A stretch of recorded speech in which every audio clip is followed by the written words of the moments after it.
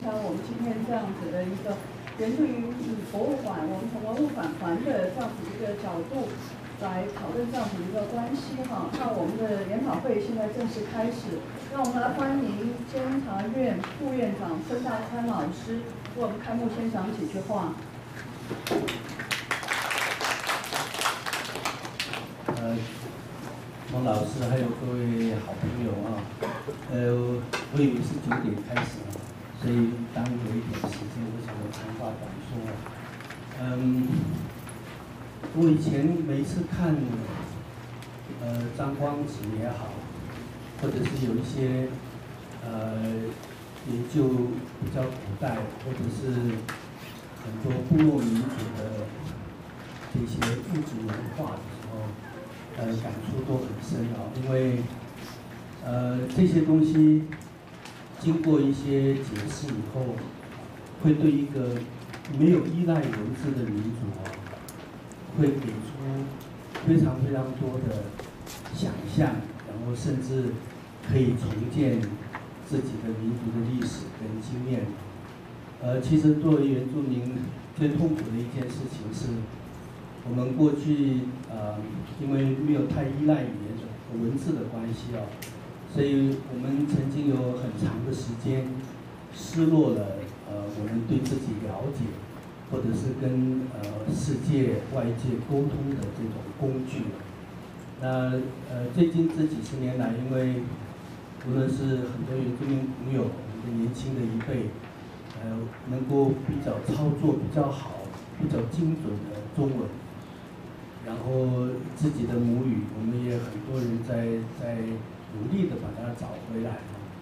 那所以我们多多少少，嗯，对过去我们能够掌握的东西啊，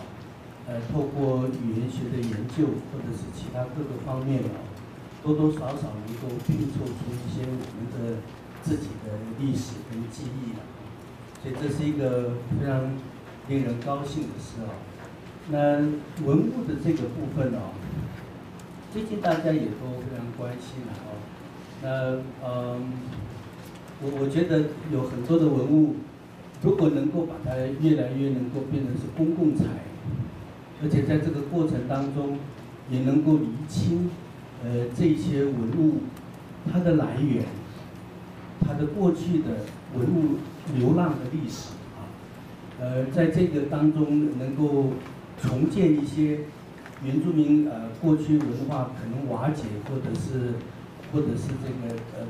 开始有散落的这种呃这种记忆啊，我也觉得是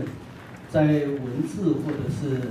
语言的研究之外一个蛮重要的一件事，呃特别是这些文物，呃它比我们用嘴巴说或者是用文字写啊，它可能所牵涉的时间呢。呃，更长更远，呃，有一些在古器物里面呢，可以让我们看到更长远的东西啊。所以我觉得，像现在，呃，关键还不完全只是说这些文物该不该归还啊，或者是怎么归还的问题，因为这个当然要要做一些一些工作。但是更重要的是对这些事情的研究啊。我自己的了解，在台湾好像。做物质文化的呃研究的人啊，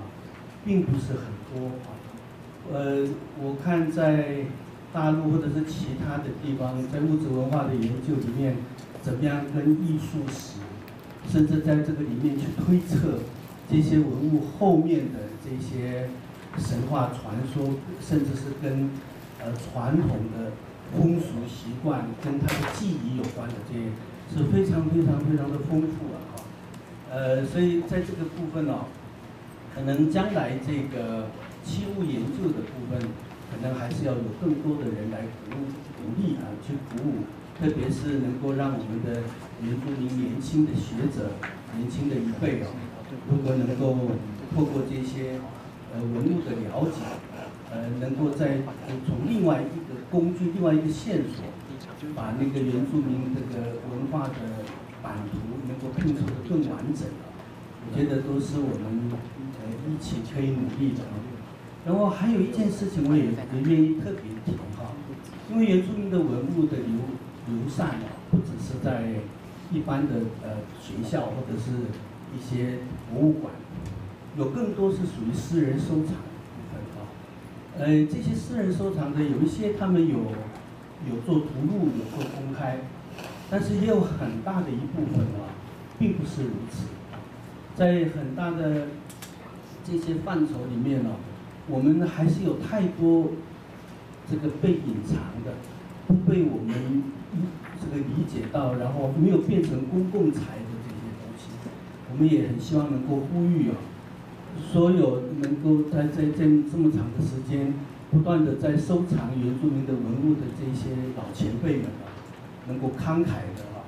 把这些文物做好图录。能够让更多的人能够来公开的去去了解、去运用，那我觉得原住民的文化的这个长久的发展哦，才会有一个更稳固的基础啊。那今天我很希望我们的那个整个的研讨会能够很顺利啊。那我就到这里啊，非常谢谢大家，很谢谢啊。谢谢谢嗯孙老师哈。那我们今天这个会是实际上是台大原住民族研究中心我们的年度公共论坛，哦，我们这次今年是第三次，是第三年度举办这样的公共议题为主的一个论坛。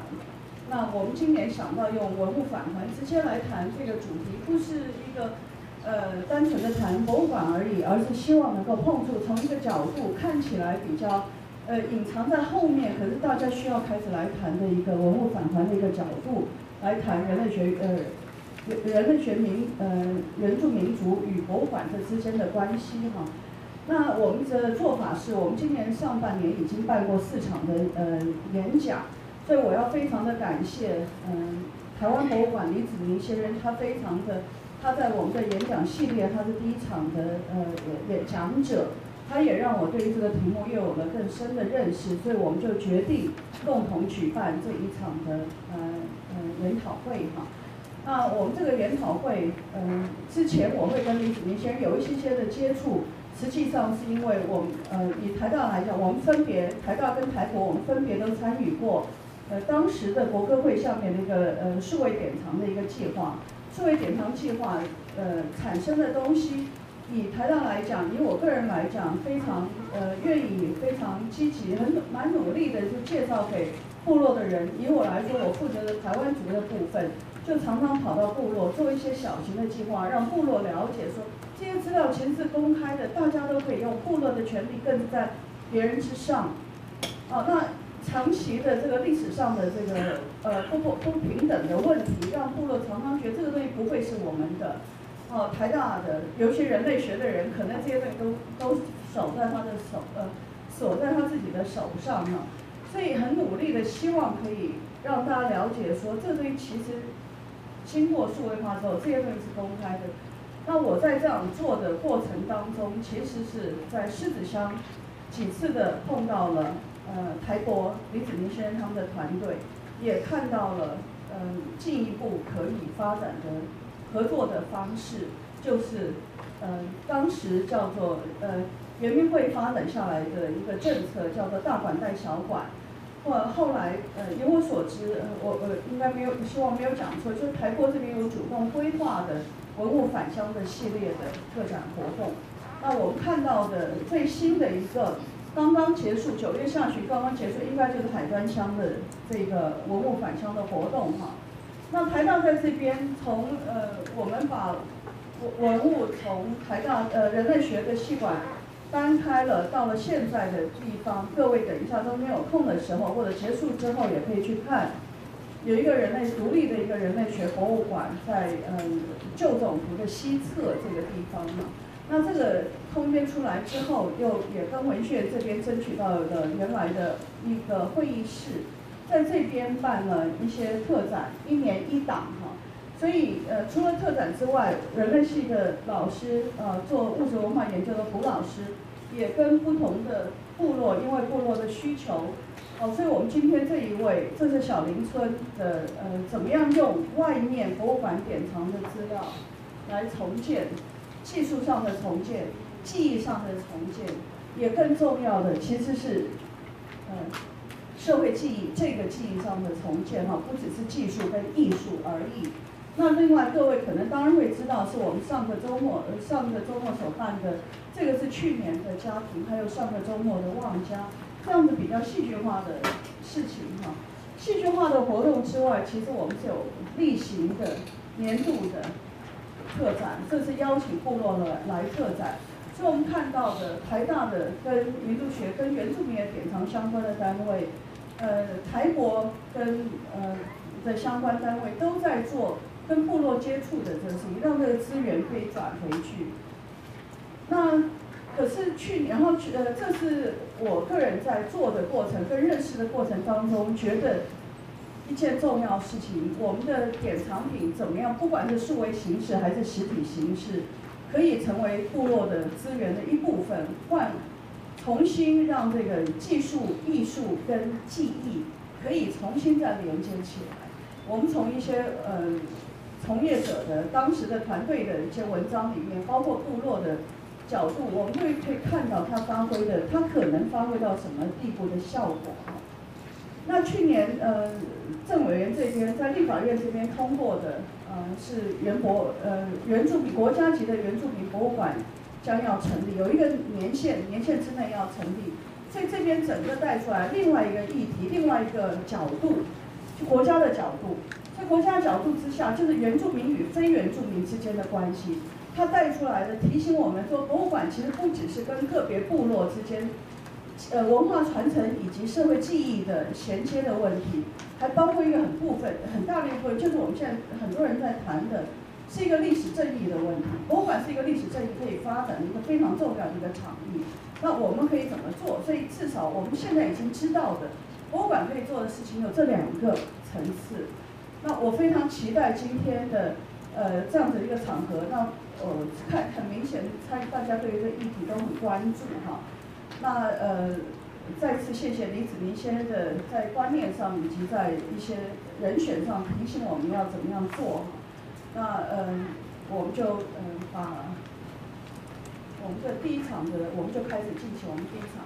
那请也很谢谢跟相关主管的。呃，单位的长官都都有人来参加哈，所以我们第一场的主持人是文化部文资司的我们的新任司长陈陈登清司长。呃，大家早啊，还有那个那个副院长及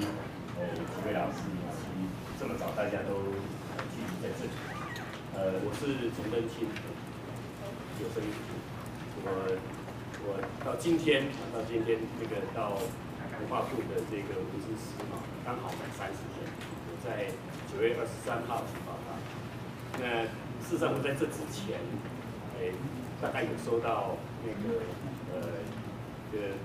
王老师这边以及这个呃筹办团队的邀请。好我很清楚啊，这个哎，我我对我对这个哎研讨会的主题啊，哎。被赋予一个主持的任务，我很清楚是什么用意了哈。因为说实在，我对我对这个业务呢，哎，这个领域并不是算熟悉。但是当主持人就因为不能跑，所以要把所有事情都都都听完，而且要注意听啊。所以那个今天这个非常的不好意思哈，这个诶我那个那个借用大家的场合来主持这场会议。那今天有那个呃非常多的这个诶那个讲者要发表，所以我就不占用多的时间。我们的研讨会里头的这个程序上面啊，好像是正啊是王老师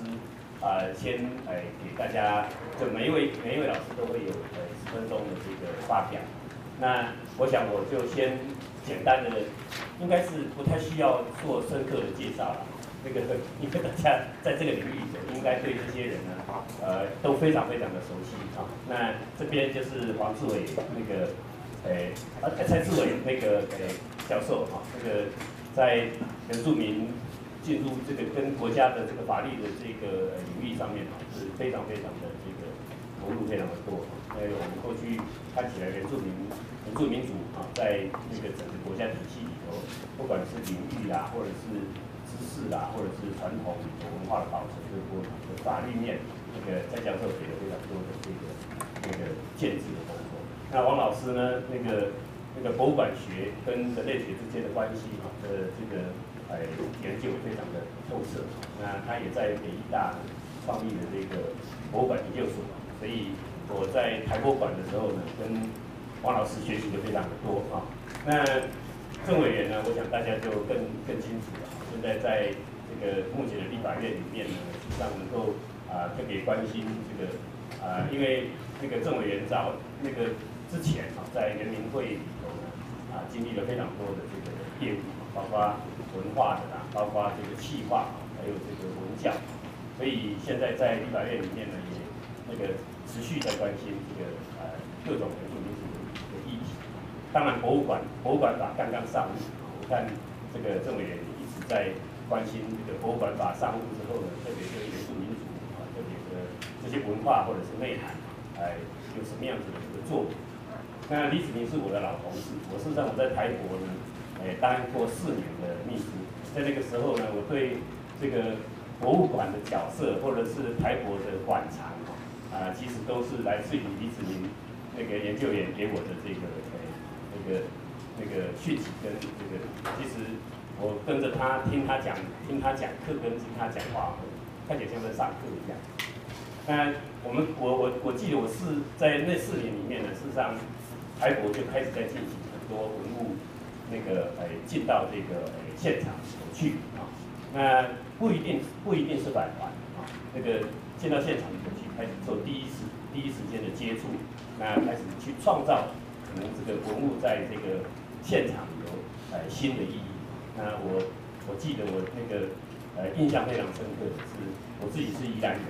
那个宜兰的这个泰雅族的原住民，在一个泰雅馆，我们把这个台博馆的那个跟这个呃地域或者是这个民族有关的文物在那里的展览，那个得到那个呃当地那个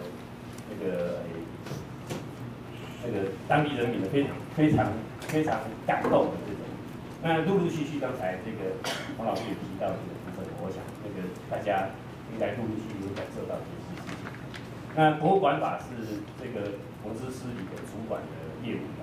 那博物馆法里头呢，啊，对特别对于呃现在啊，就是今天你看大家那个把这个呃呃原住民族的这个文物跟这个典藏这个事情拿出来提提出来谈哈。其实我们可以陆续在后续的这个啊，在法制面啊，看看有什么样子啊，那个执法建立上面啊，给予比较多的建议。那这个部分我就啊先来引言到这里啊。事实上啊，我实在是没有办法那个那个回应太多有关这个部分的议题。我真的再说一遍，就是我在这边呢，给我十分钟实在是太多了。我我我就是听可能一个早上还。还嫌不够，所以也就非常感谢这个呃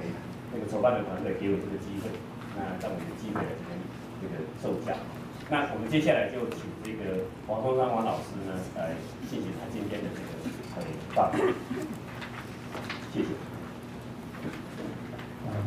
谢谢主持人林司长，与会的诸位老师跟诸位先生，大家早安。呃我们被分配到的这个场次是第一个场次是关于文物文化的所有权跟移动，所以我在发言里面啊，呃，很抱歉啊，各位在手册空白，这个包括上也是空白，呃，所以你只能很很专心的听我讲，没有办法知道到底今天有什么名堂。呃在这个主题之下呢，呃，我可以分呃四个方面来做个说明。那这四个方面，呃，待会就逐一的呃，从这个文物的呃跟文化回归的历史发展，跟它的文化多样性的议题，以及它跟现代的这个呃文物以及更大的，不只是呃历史争议，我们还涉及到文化争议的议题，做一些讨论。第二部分我们。会谈谈这个文物跟文呃文化回归的复杂性，因为它事实上它不是一个单纯单一的一个现象啊啊，而且它一直在涨，一直在扩展啊，一直在扩展。呃，第三部分我会谈谈呃整个回归的多样化的这个模式啊，因为它既有文物的性质呃类别呃，既然是多样化，还有复杂性，所以很显然这个回归它就有多样化的这个模式。最后我提到一个未来到底对于这种文物回归，我们该怎么来来来对待啊，来处理啊？那第一个方面。我想在呃呃论坛的这个手册里面已经提到，整个呃文物跟呃文物的回归啊，它有一个世界性的脉络。这世界性的脉络从一九七零年呃 UNESCO 文化这个教教科文组织的这个呃推动啊，开始呃有一个新的啊，过去不太被这个注意到，或者是过去没有占有非常重要地位的。cultural heritage 这个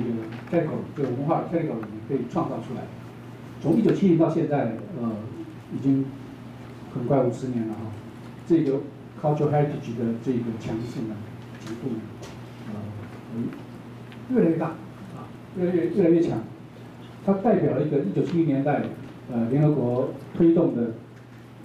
全球化的一个面向。那这个文化。这个文文化的这个遗产呢，从早期的，呃，从早期的这个有形的或者是世界遗产，接下来无形文化遗产，进一步的发展到这个世界记忆，有关于 documents，就是一些这个呃呃记录的或者文献的这个遗产，直到最近啊。最近又在这个发展的水下考古的遗产，啊，这四大层面呢，呃，从一九七零年代开始呢，这段时间就影响到全世界，在这里面受到最大的这个影响的，应该是呃无形文化遗产的推动，哦，使得我们开始看到了这个原住民族，呃，这个所拥有的这个物件呢，它到底是什么样性质？啊，在传统社会。在当代社会，在原住民社会，在汉人社会，在区域性的这个社会，直到这个这个这个这个国国家这个这个世界的一个一个社会，它到底啊，它到底是有什么样的一个性质？所以它其实已经引起了一个呃呃这个这个重新的一个思考，在这个全球的脉络之下，呃，全世界的文物的回归开始有一些发展。几乎在七十年代之后，全世界这个文物回归的行动就开始在在发展。台湾原住民的跟文物回归的议题，呃我认为应该要把它往前推，不是这几年，应该往前推。过去的亡我母语 repatriation，亡我土地 repatriation，证明亡我民子 repatriation，全部都是跟回归有关。母语，这个土地。名称证明，啊，在无形文化遗产的脉络里面是重要的，因为这涉及到了这个对于这个原住民所拥有的跟所创造的重新的重新的一个思维，也对于这个不往重新的思维。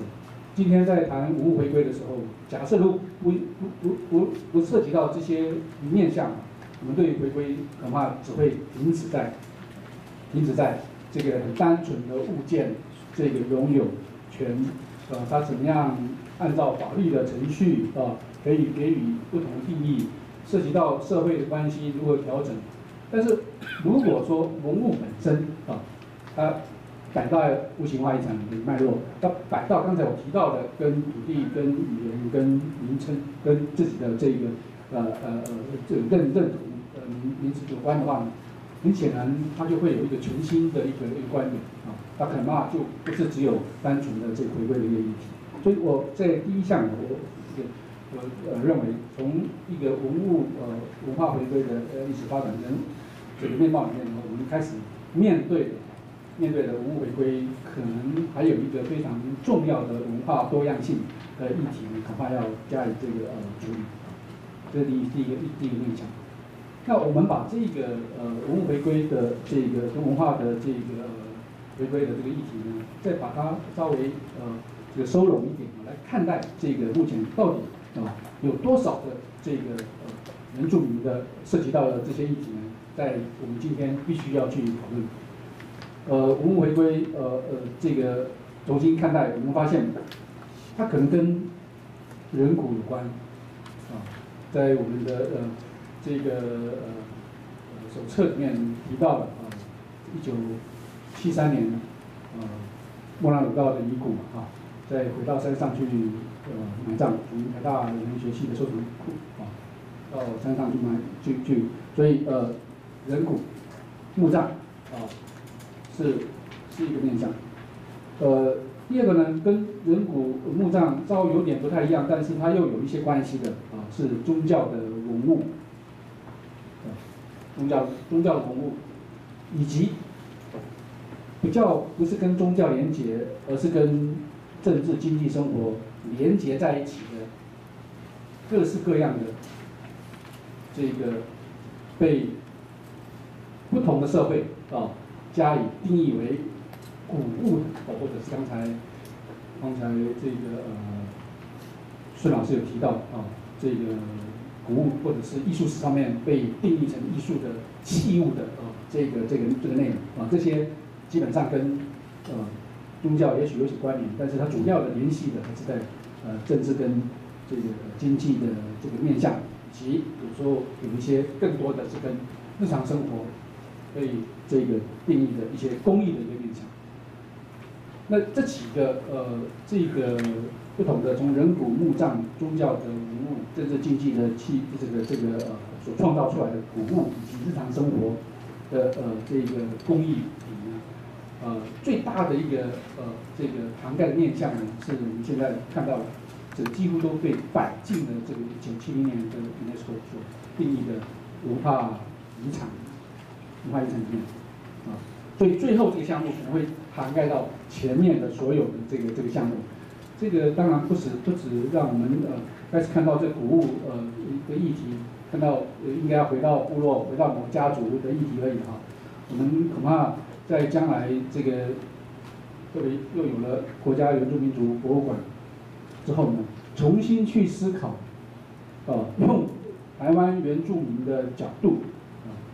台湾原住民文化的角度，重新去思考、反省文化遗产到底是什么。啊，现在我们呃也花很大的精神啊，这个把这个文化资产啊做了一些修正。啊，里面呃这个有一条就是有关于原住民的文化资产呢，必须要在另外来处理的话，不管是专章或者是另外定一个原住民族文化资产法，那很显然哈。这个定这个法会涉及到我们今天所看到的文化这个文物的一个回归啊，所以呃我这个呃呃提呃这个认为提提出一个观点，就是说在这个文化呃文物这个文化的这个复杂性里面呢，最后在面对呃这些过去的遗留哈，呃用文化呃遗产的这个概念来加以这个面对的时候呢，文化必须要有文化的这一个呃。意识和文化多样性的概念呢带入，在呃这么复杂的这个面向里面，我们至少哦我们可以看到回归其实有非常多的多样化的这个模式，这些回归的议题它牵涉到了一些伦理上面的这个考虑啊，它也牵涉到了这个政治上面啊的关系啊，它涉及了。这个法律制度到底怎么样去 define 这些呃物的这个拥有啊的这个权利？它到底还可不可以用什么样的方法来进行 reproduction 复制啊？在法律的层层层层面，它涉及到了文化的呃这个这个呃这个面向啊，当然它也不免呃这个涉及到了这个学者在呃。思考这些呃文化的呃遗物啊，它呃在知识上面啊，在学术上面的一些这个呃这个是被这这些讨论，它也涉及到了这个经济的啊这个面向。那过去的文物的这个呃的存在跟现在其实差别非常的这个这个呃这个巨大啊。既有的文物呢，它进到当代社会之后，它会它会发生一些啊一些这个变化，因为社会基本上社会已经不是跟过去一样啊，所以社会的这个变动呢，跟服务之间的介入就产生产生一些这个呃变化。那所以呃，在伦理上面，在政治上面，在法律上面，在文化上面，在这个学术上面，在经济上面呢，都这个产生了非常多的不同的这个呃考虑。那综合的来说呢，这些呃单独的一个一个从呃伦理的政治这个法治这个呃文化学术跟经济的这个面向去做讨论呢，最后恐怕它还是要回归对于我们呃我们到底怎么样去面对呃这个文化这个呃呃这个遗物啊或者无物这件这件这件事情，呃，抱歉，我应该有十分钟时间，会超过一点点，抱歉。我今天因为有孙老师在，所以我们时间就把它摆到一边去了。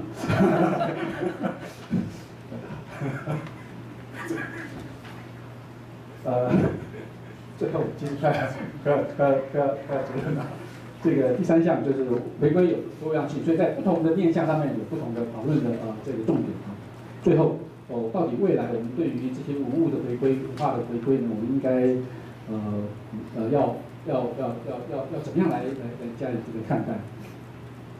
人类学的呃这个研究呃其实早就已经告诉我们，尤其是南岛这个呃语族的研究里面已经告诉我们啊，刚才这个呃孙老师提到的物质文化研究已经告诉我们啊，尤其是一个法国人类学家呃叫 g o d e l i e r m a u r i c e g o d e l i e r 他这么有名的人学家居然跟博物馆有关啊，呃他曾经被赋予重任要去盖一个呃。这个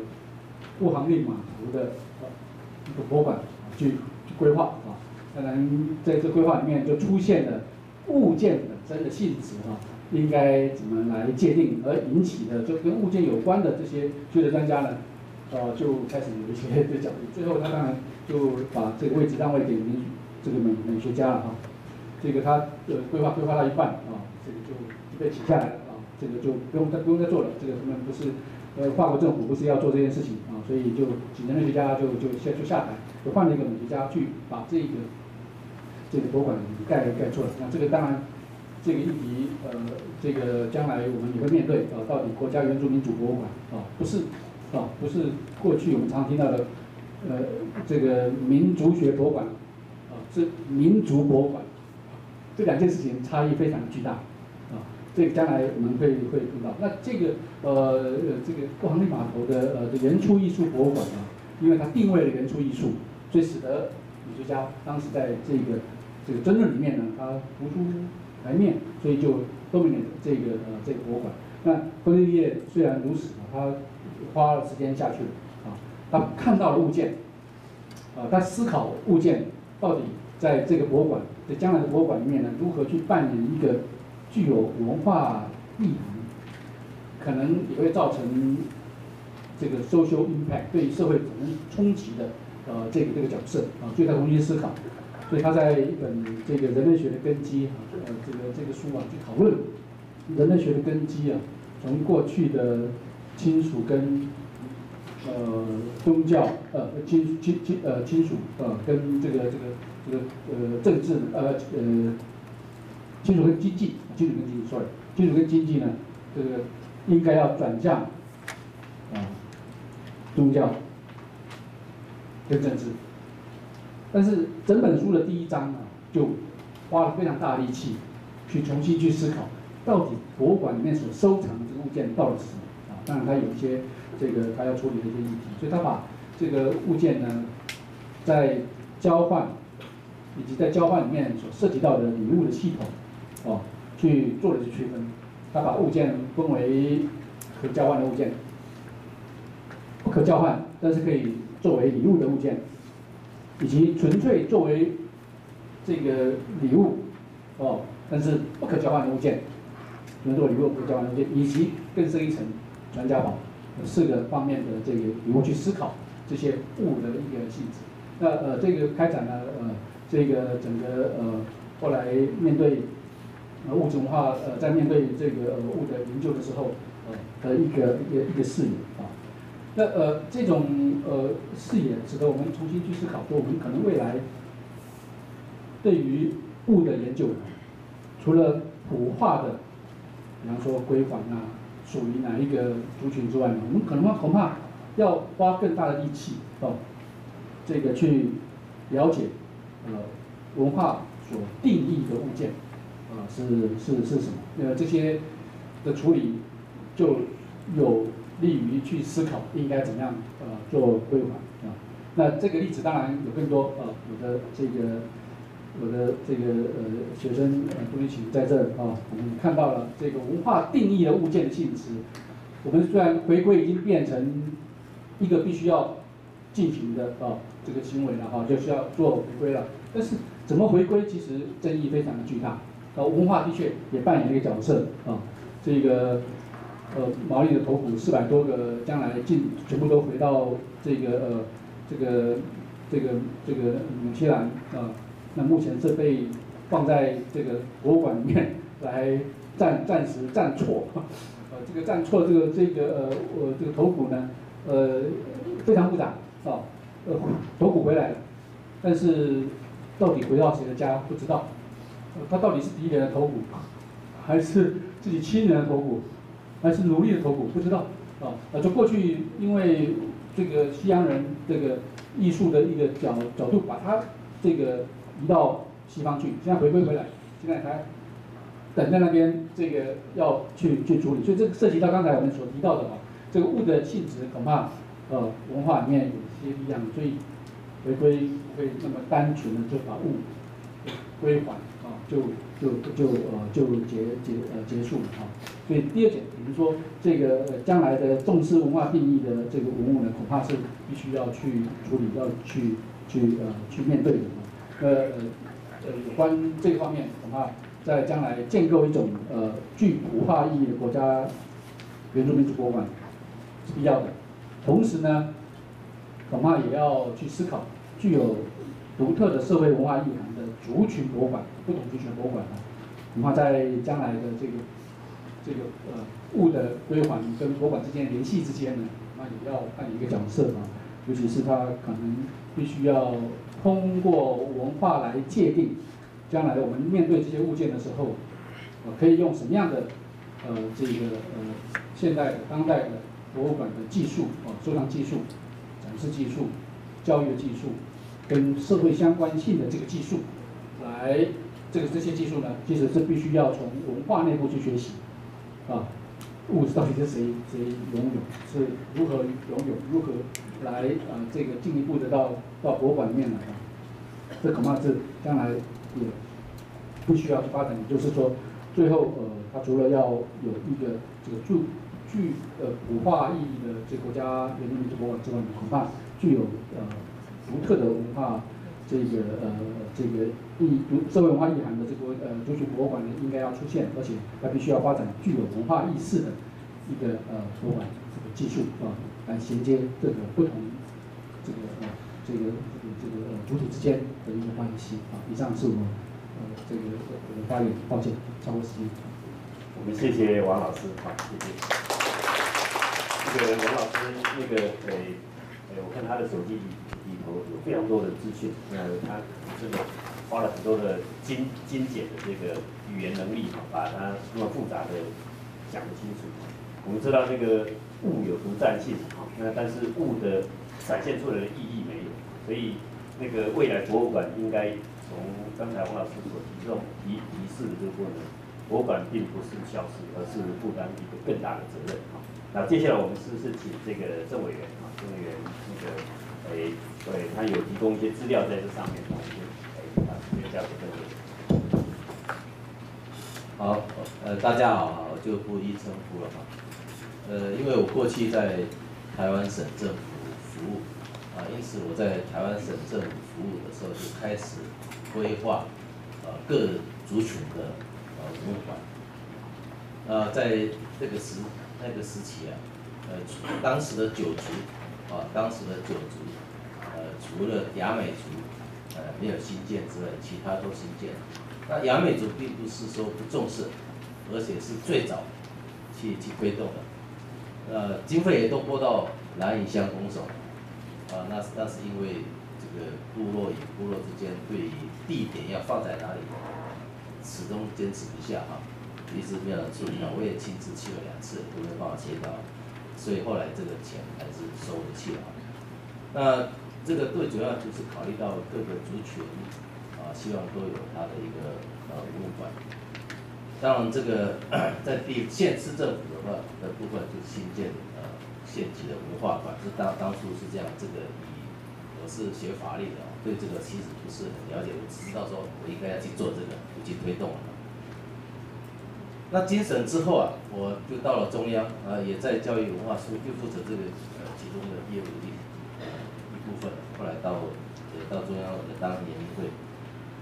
后来就开始去检讨啊，很多各界在检讨，变成文史馆，啊，这个这些我们当初呃推动的这些二十几个馆就变成文史馆，呃，非常谢谢当时在行政院在检讨的时候，陈其南那时候的政务委，他是支持我，他以以以当时的文化中心呢，当初新建的也都是也是也是文史馆。啊，他说是我们政府应该投入更多的经费，啊，所以他支持我，所以我后来就继续去推动这个，怎么样把这些二十几个馆，啊，要把它活化，啊，要活化，所以当然就是经费预算是最重要的，啊，就是第一个当然要有这个设施，不是一个空空的一个建筑物，要有设施，啊，要有这个能力，啊，要有这个典藏古物文物的一个呃收集各方面。我毕竟我不是专业，我会里面我处里面也没有专业人员，所以我就委托了专业团队，找找专业团队。所以因为正好认识这个沙利，啊大学的时候认识，所以就委他委托他专业辅导。啊，我们经费的部分就从人力，甚至用就业就业基金的经费，啊，然后相关设施人力展示，呃展示的部分呢，设施的部分就是教务处的经费。呃，所以才会有后来的，当然就是要管。这些人力进来了之后要训练，啊，要辅导，那，怎么样去呃策展啊，怎么样去收集文物啊，怎么样去各方面的一个训练，啊，然后也才会有后来的大馆带小馆，啊，馆际之间的一个交流，啊，大馆小馆之间的一个交流，或是文物从从这个大馆到回到原乡，啊，甚至相关的这些做了很多哈，所以那段时间是呃把整个文字馆。活化起来，在行政院公共工程委员会的一个管这个管考制，我们很快就把它啊活化。那谈到这个管啊，呃因为我在京省，正好的那中央联名会那时候是孙大川当大副主委，我我是小副主委在省府嘛。京省的时期，那时候我们在推动，呃，希望能能够有一个国家级的博物馆。就是希望省博物馆啊，那时候是考量的是省博物馆那个啊移拨，因为因为本来是省嘛，就现在的台博馆啊，啊希望能够移拨到中央研明会啊，但是呃没有成啊没有成，啊没有成之后，所以呃随着我就离开了呃这个公部门，就到呃也是公部门的立法院啊，呃当了立法委员，呃当时我就想到这个部分，这个怎么样？能够要有国家级的博物馆，因此我在二零一二年开始担任立法委员，呃，一开始在四月份，四月三十号，呃，就开始跟当时的建会主委啊龙应台来咨询，啊，特别提到了全台湾啊总共有二十几个国家级的博物馆，就是唯独没有原住民族的博物馆啊，经过。那其实当时当初这个呃，其实我知道很难呐，我是点名史前博物馆，我明知道，但是这是我的策略性，啊，因为如果我我是咨询联名会，一般都是会咨询联名会，你们要盖啊，你们要新建啊，啊，我从来不咨询联名会，啊，我都是从咨询其他的啊部会，因为他们去他们去提计划，联名会就算孙大川当时是主委，就算他是提计划。送到相关的部会，一定会讲可行性什么什么的，一大堆理由了。啊，他也会讲说史前博物馆有没有可能转型啊，什么之类的都会有。啊，但是我知道是不可能。那天四月三十号，我咨询完了之后，正好跟这个林志新呢，就跟胡忠成几个，还有一位教授，不用讲哈，这个 就吃饭喝酒。我我说我刚咨询这个哈，当我咨询的时候，林志坚得在场啊。我咨询的内容告诉他，我看他脸色好像不太不太支持，然后，所以我就想说，我跟我的预期是一样的。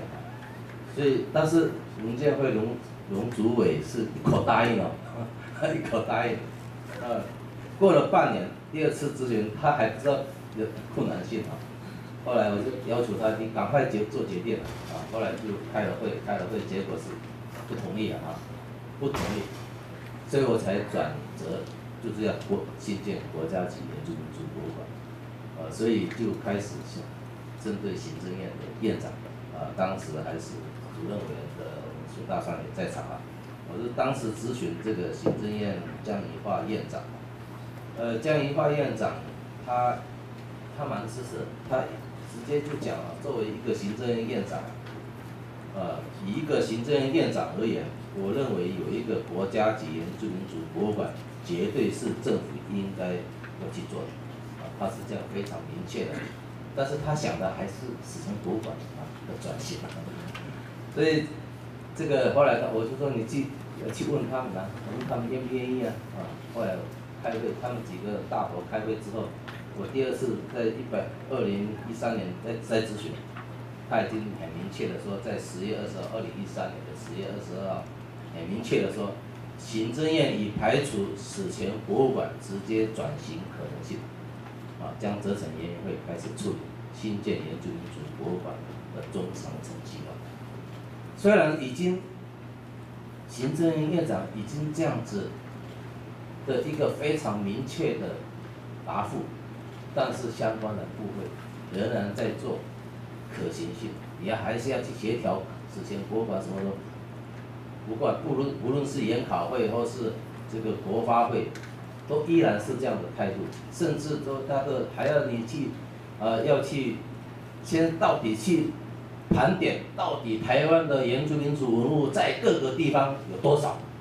哇，出了这么大的难题，你看，要人民会去盘点啊。谈到这个，我先讲。我转到我在教文教文处当处长的时候，我曾经跟李莎莉讲说，我们来办一个所有台湾的原住民族的文物的展，我们分类啊，我们就想，就是我我是很外行，我吃呃食衣住行好了哈，食衣住行，我食的、衣的、住的、行的或什么各方面的哈，我们来办。他回去去去了解各。到各个有这个文物的馆，啊，也许是中研院，也许是台大，也许是台博呃台博馆，啊，也许是民间的。他后来告诉我有有困难，所以我那时候其实是想做图录了，做一个完整的图录，到底台湾的原住民族的文物，在政府机关的，在民间的，希望能够做图，你要知道到底有多少。结果几年之后，竟然这个这个国发会要我们去去了解这些，要要求人民会要去了解到底有多少文物，他意思说有没有新建的可必要性啊？其实他是在做这个部分，啊，所以我就去协调，我说你们在办在弄什么？很多的馆在新建的时候，我说这么多的馆在新建的时候有有有出这个题目吗？就问他。打不出来，啊！我说院长已经承诺了，你还出出这些题目，啊，包括主机单位什么很多单位很多意见了，所以我才会这么多的协调，非常非常多的协调，我都亲自去协调，啊，所以在这个博物馆法在制定的过程当中，虽然已经原住民族教育法已经有规定了，说，但是是是需要，是需要就很有弹性。是需要的，不需要吧？都大概都是更不需要，才会才会从零这个二二一九九四年，呃，二零一二零零四年，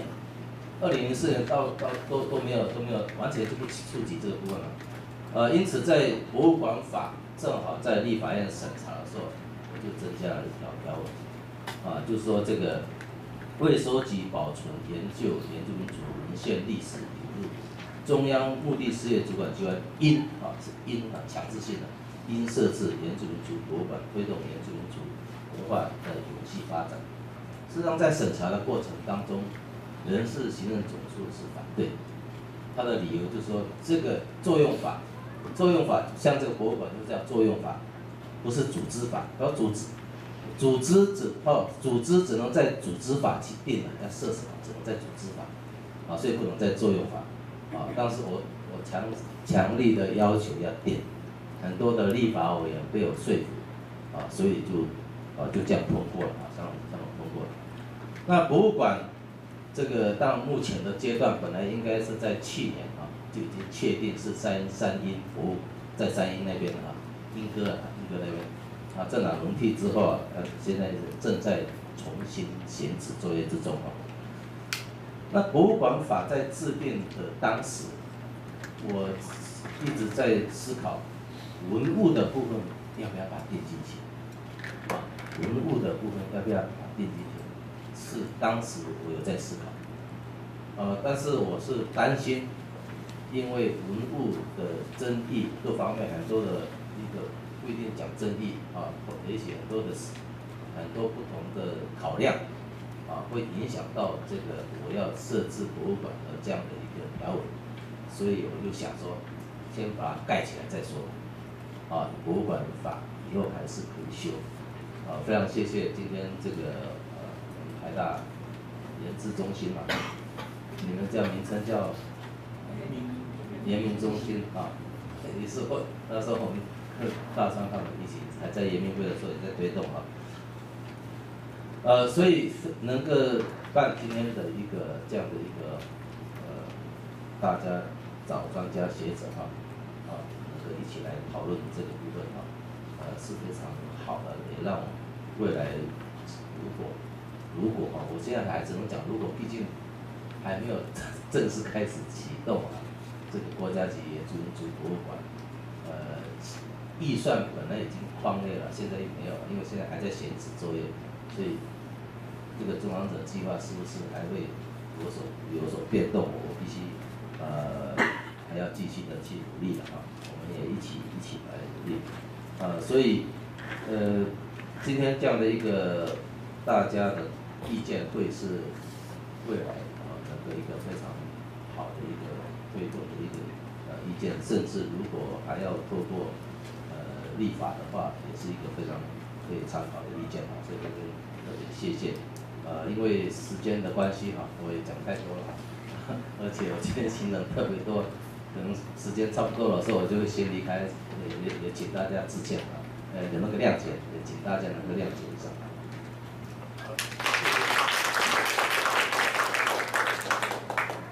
谢谢，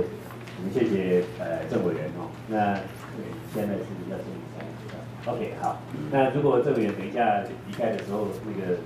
那个我们就不再中断会议了啊。那接下来我们是请那个蔡老师啊，那个诶诶，我稍微那个那个总结一下刚才郑委所提的这个事情。那诶，原住民族博物馆这件事情。跟今天我们谈那个博物馆跟这个物，还有跟这个呃，它原原来所处的这个涵构之间的关系，那个的确是一个非常有建设性的想法。那一个筹建中的原住民博物馆，特别一定是牵涉到很多跟原住民族原来的物有关。那这个博物馆如果它开始在筹建的时候呢，能不能加进去？今天我们其实这个主题，这个研讨会。非常重要的思维，在这个博物馆里头呢，变成一个呃，跟其他的博物馆在在在成立的目的上面有很大不同的这个部分，一定好好想一想。这个博物馆，我想呃，应该也会应该也会有呃呃非常深刻的这个去检讨跟反映。那我们就请这个呃张老师。好，大家早，这个。因为今天的这个主题啊，就是我一直在想说，应该我应该从哪个面向来跟大家分享的一些想法。因为毕竟讨论到博物馆也好，或者是文化资产也好，呃，都不是我的专业。那所以，我先在这里，我觉得应该是比较希望能够从一个。法律面向的讨论，哦，来跟大家做一个想法的一个交换。那第一个我想，呃，提出来跟大家讨论的事情就是说，我们为什么从过去到，就就是说从从过去的这样的一种历史来看，原住民族的文化为什么会被采集？为什么要为什么要被收集？那又为什么要被展示？哦，我觉得这是第一第一点，大家可以去思考的问题。然后，在法的想法来说，哦，也就变成说，呃，我们通常会，我们通常不会去，呃，想要把不是属于自己的东西占为己有。那可是为什么我们对原住民族的东西或者是文化，会以一种占有的方式，哦，来去表现？那这个东西其实我觉得，呃，从国家跟原住民族的这样一种互动的过程的历史来看，确实包含在台湾的原住民族也好，或者是其他的这个国家境内的原住民族。也都一样哦，就是我想这个是这个陈腔滥调，几乎已经陈腔滥调，就是原住民族的法人格啊，从一刚开始就是被否定，哦就被否定，哦所以在日本时期其实很清楚，就是说呃像那个一个很有名的法律学者叫冈松生太郎，他就他提出来的一个原住民族法律的见解，就提到当时所称的生番。在社会学上，也许可以视为人类，哦，那在国际法上呢，其实是可以视为动物，哦，那对于日本来说，在当时占领台湾这个这个阶段，他们不认为哦，生番可以取得日本帝国臣民的地位，他甚至不是一个法律上的个人，而只是生活在日本帝国领土内的动物，所以呢，由于日本统治当局必须要对他的行为负责，所以认为日本政府的统治力是可以给予生番的，所以。类似这样的一种法人格的讨论，其实会影响到我们在整个这种不管是政治、经济、社会，甚至是常民生活当中，去看待原住民族这样的一个群体，以及他所表现出来的这种行为或者是生活的内容，哦，这是。那这个就影响到，就变成说，我们过去常常都把原住民族的文化很容易的就认为它是一种充满强大公共性，以及落入到公共领域哦去做管理的这个这个项目或者是内容。那可是我们也都认为说，另外一个角度是，文化其实有非常大的一种公共领域性哦，比如说。我们看另外一个在规范文化非常重要的法律叫著作权法，哦，那著作权法的第一条哦也提到了，我们要保障著作人的权利，但是更重要的是我们要调和社会公共利益跟促进国家文化发展，所以文化内容本身其实终究来说，它必须要以充实哦这个社会的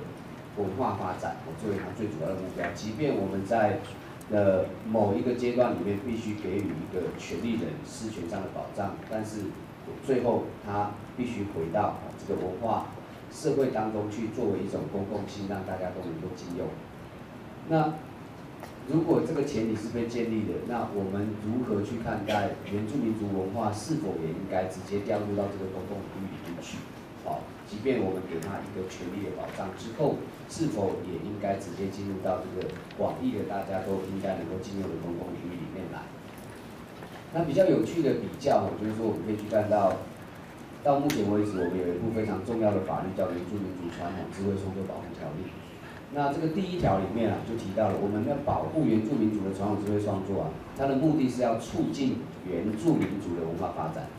所以跟著作权法两个条文比较起来，就差了那个主体性啊，就不一样。哦，著作权法要保促进国家文化发展，原住民族传统智慧生活保护条例，好，保护条例是要促进原住民族的文化发展。所以，其实在这里面也也就变成说，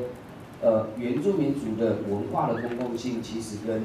社会大众的公共领域这个这个概念本身应该要做一些区隔跟这个这样的一个在法律上的处理的。那我想原因其实我们可以尝试的去从整个历史的脉络里面去看到，就是说，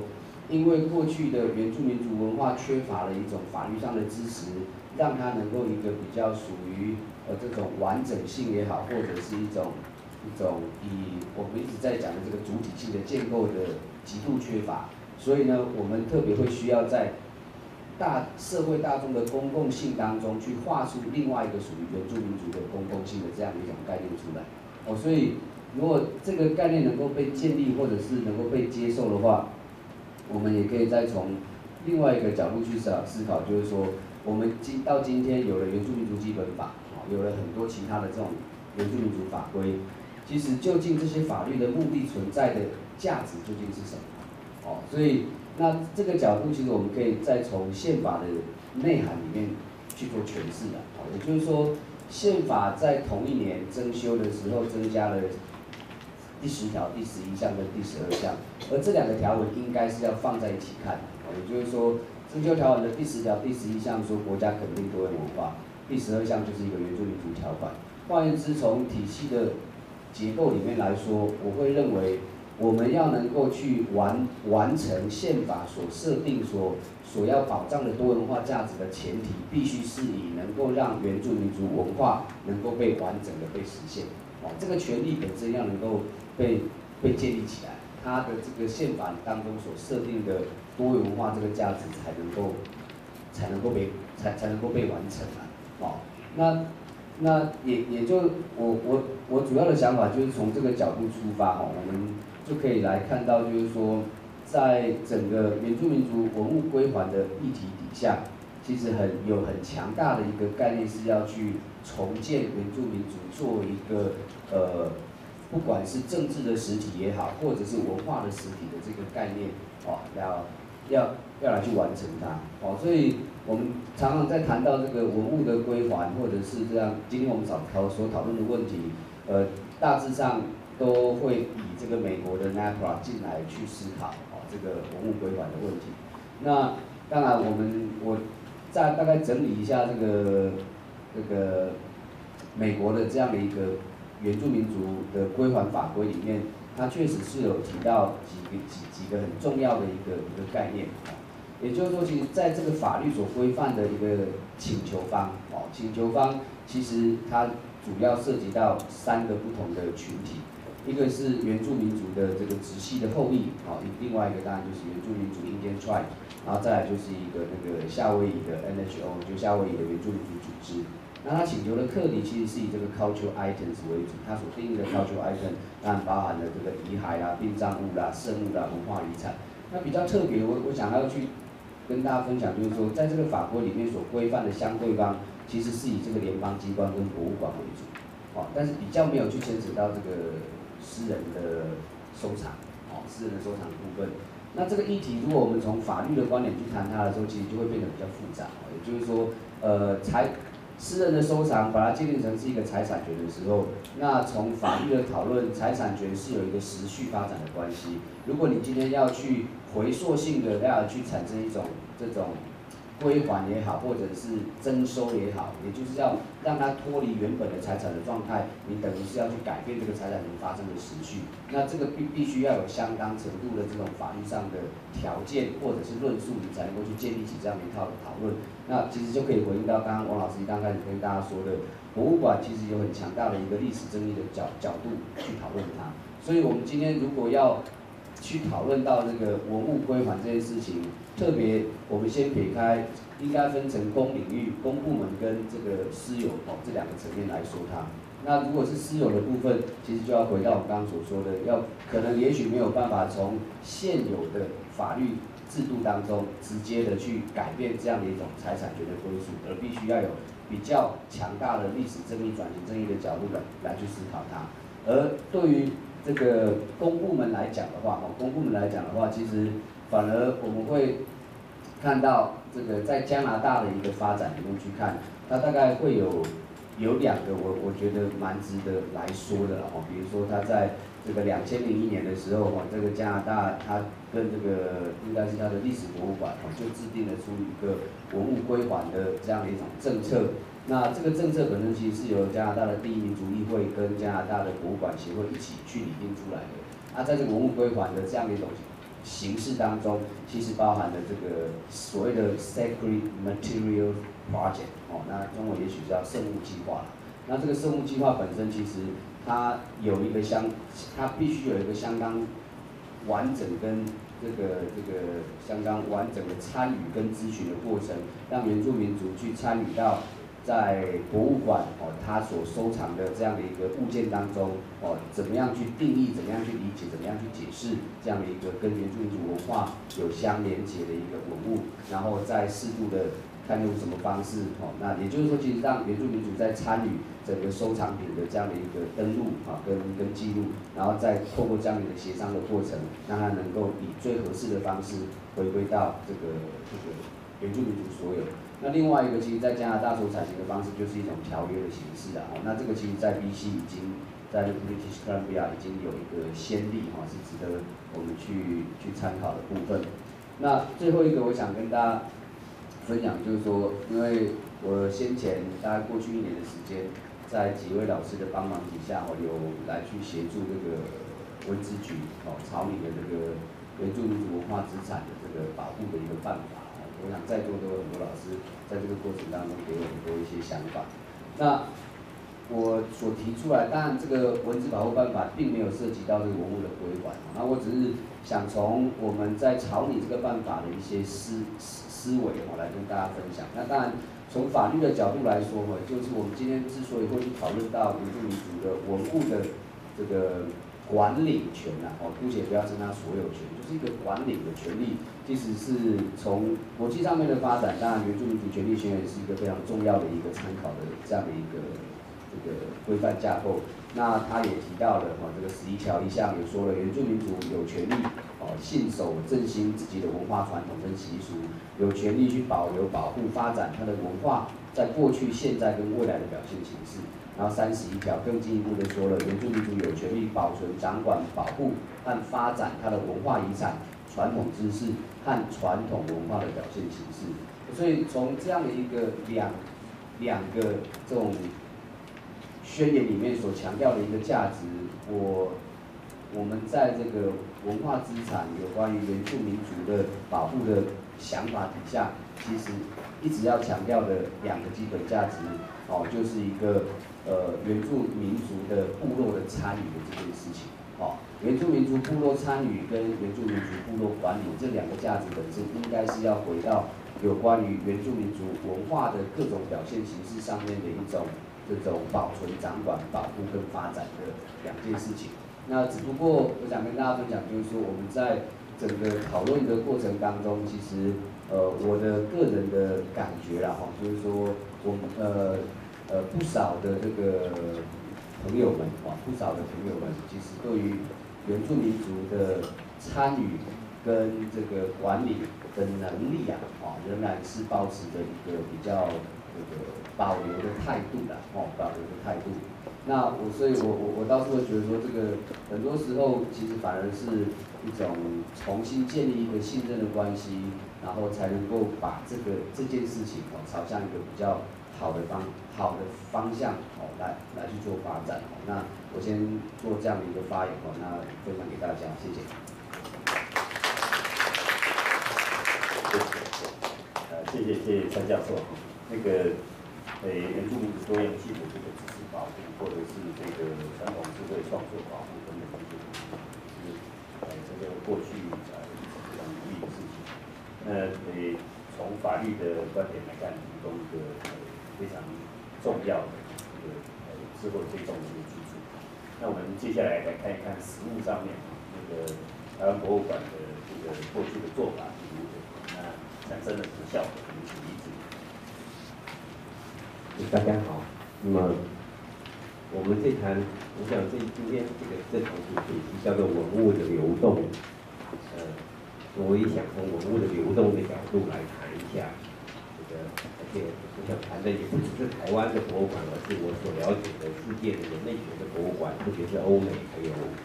呃亚澳地区的博物馆的趋势。我观察到的文物流动的方向，其实假如说我们把时间放久一点，有人说二十一世纪是博物馆第二个博物馆的世纪，那么第一个博物馆世纪大概也就是在一百年前。那么比较起来，从文物流动的方向方方面来看，你会看到，其实从十九世纪末到二十世纪初，我们会看到，有有人说是人类学博物馆的入场的黄金时代。其实，在那个年代，数以千万计的部落文物正以史史无前例的规模和速度流入各个世界的博物馆、都会区的博物馆。那么反过来说，我们现在这个年代，二十世纪到二十世、二十二十世纪末到二十一世纪初。就不妨可称作这个文物规范的黄金时代。那在上个世纪大量流入各都会博物馆的部落文物，也正是以史无前例的方式，通过各种形式回流到它的原初部落。那么其实大家原来许多博物馆，那么像我的同事，我们其实都把这样子的趋势当作是一个末日的讯号。那那个如果东西都被拿光了，我们博物馆还有工作吗？那么，但是没有想到，最后才发现，原来救赎之道也存在其中。其实，就世界，就上个世纪来讲，其实，其实我举一个例子啦，不是台湾的例子。那么，就是，呃呃，就是有一个，不知道大家有没有听过，秘鲁有一个世界七大奇观之一的一个一个一个古，一个古古这个，呃，这个印加帝国的古古这个遗址，叫 Machu Picchu。这个我有提到，他在一九零零年、一九一一年最大的是是很轰动，因为耶鲁大学的考古队在那里挖了几千件文物带回去，那是一个人类学博物馆，这个挖挖了好多重大的东西，然后才知道原来这个遗址多么伟大。你知道一百年后，一九一一年、二零一一年发生最重大的是什么？这些东西耶鲁大学全部还给秘鲁政府，一直多年来秘鲁政府一直没有要。一直一直要求还，在耶鲁大学都没有还，最后，有秘鲁总统直接跟奥巴马讲，奥巴马自己去劝说耶鲁大学，终于在二零一一年还了。所以说，其实相隔一百年，整个大的博物馆界重大的事件是上个世纪如果是发现，那这个世纪就是归还。那么其实这不只是不只是这个这个这个博物馆界有意义的事情是归还，而且在呃逐渐，其实就人类学博物馆来讲。这个过去这个他自己的物质文化收藏，在逐渐在理论甚至在伦理层次都变逐渐变成一些博物馆，像大学或者是这个研究中研院，其实都逐渐的他的博物馆跟他的研究方向其实逐渐的没有没有那么相关。那么这个这个，但是又是因为这归还的事情，反而归还的方向反而使让这些人类学博物馆的产品。他重新找回他的叫做什么归属感，或者叫做相关的感感觉。那么其实更讽刺的是，在某些案例，像 NACRA 的案例、美国的案例，你可以发现，其实，在归还是归还这件事，就为很多博物馆提供了很多新的工作机会。那前一阵我就有一个 Smithsonian 的一个一个一个一个 curator 来找我，那其实他说他的雇佣，他的经费全部都来自这个。NAFTA 的经费，因为要归还，所以要要要有很多这个归还的，他要做这个整整整体的调查，所以大部分后期的人类二十一世纪的那些博物馆的主要的经费来源都是 都是像纳瓦之类的归还归还的目的，因为归还而造成了人类学呃博物馆的工作机会增加，其实这是很实在的事情。当然不只是如此，从这个就我所了解的。博物馆的文物归还不仅造成这个博物馆本身的蜕变，其实我觉得其实文物本身也会有质变。那么我从我我经历过好几次文物回乡的，我也颇有这样子的感触，就是对我自己来讲，或者对我们一些同事来讲，这个博物馆里面的文物，我们其实比较习惯把它叫做标本。标本听起来好像是有一点有点好像让人想起蝴蝶标本是有点。有点有点有点冷酷啊，但实际上就是如此。它其实是一个学术的材料，对大部分我们来的研究人员来讲，其实它就是个学术的材料。那么它当然是文化的，跟文化有关，但是其实它又不直接等于文化。但是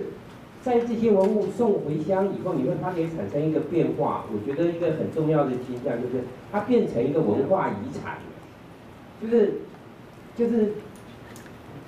反而是部落的人或者是这个原原原初部落人，把这些这些文物，不论是这个古代的文物或者是当代的一些作品，他把它视作是一个好像文化的代表。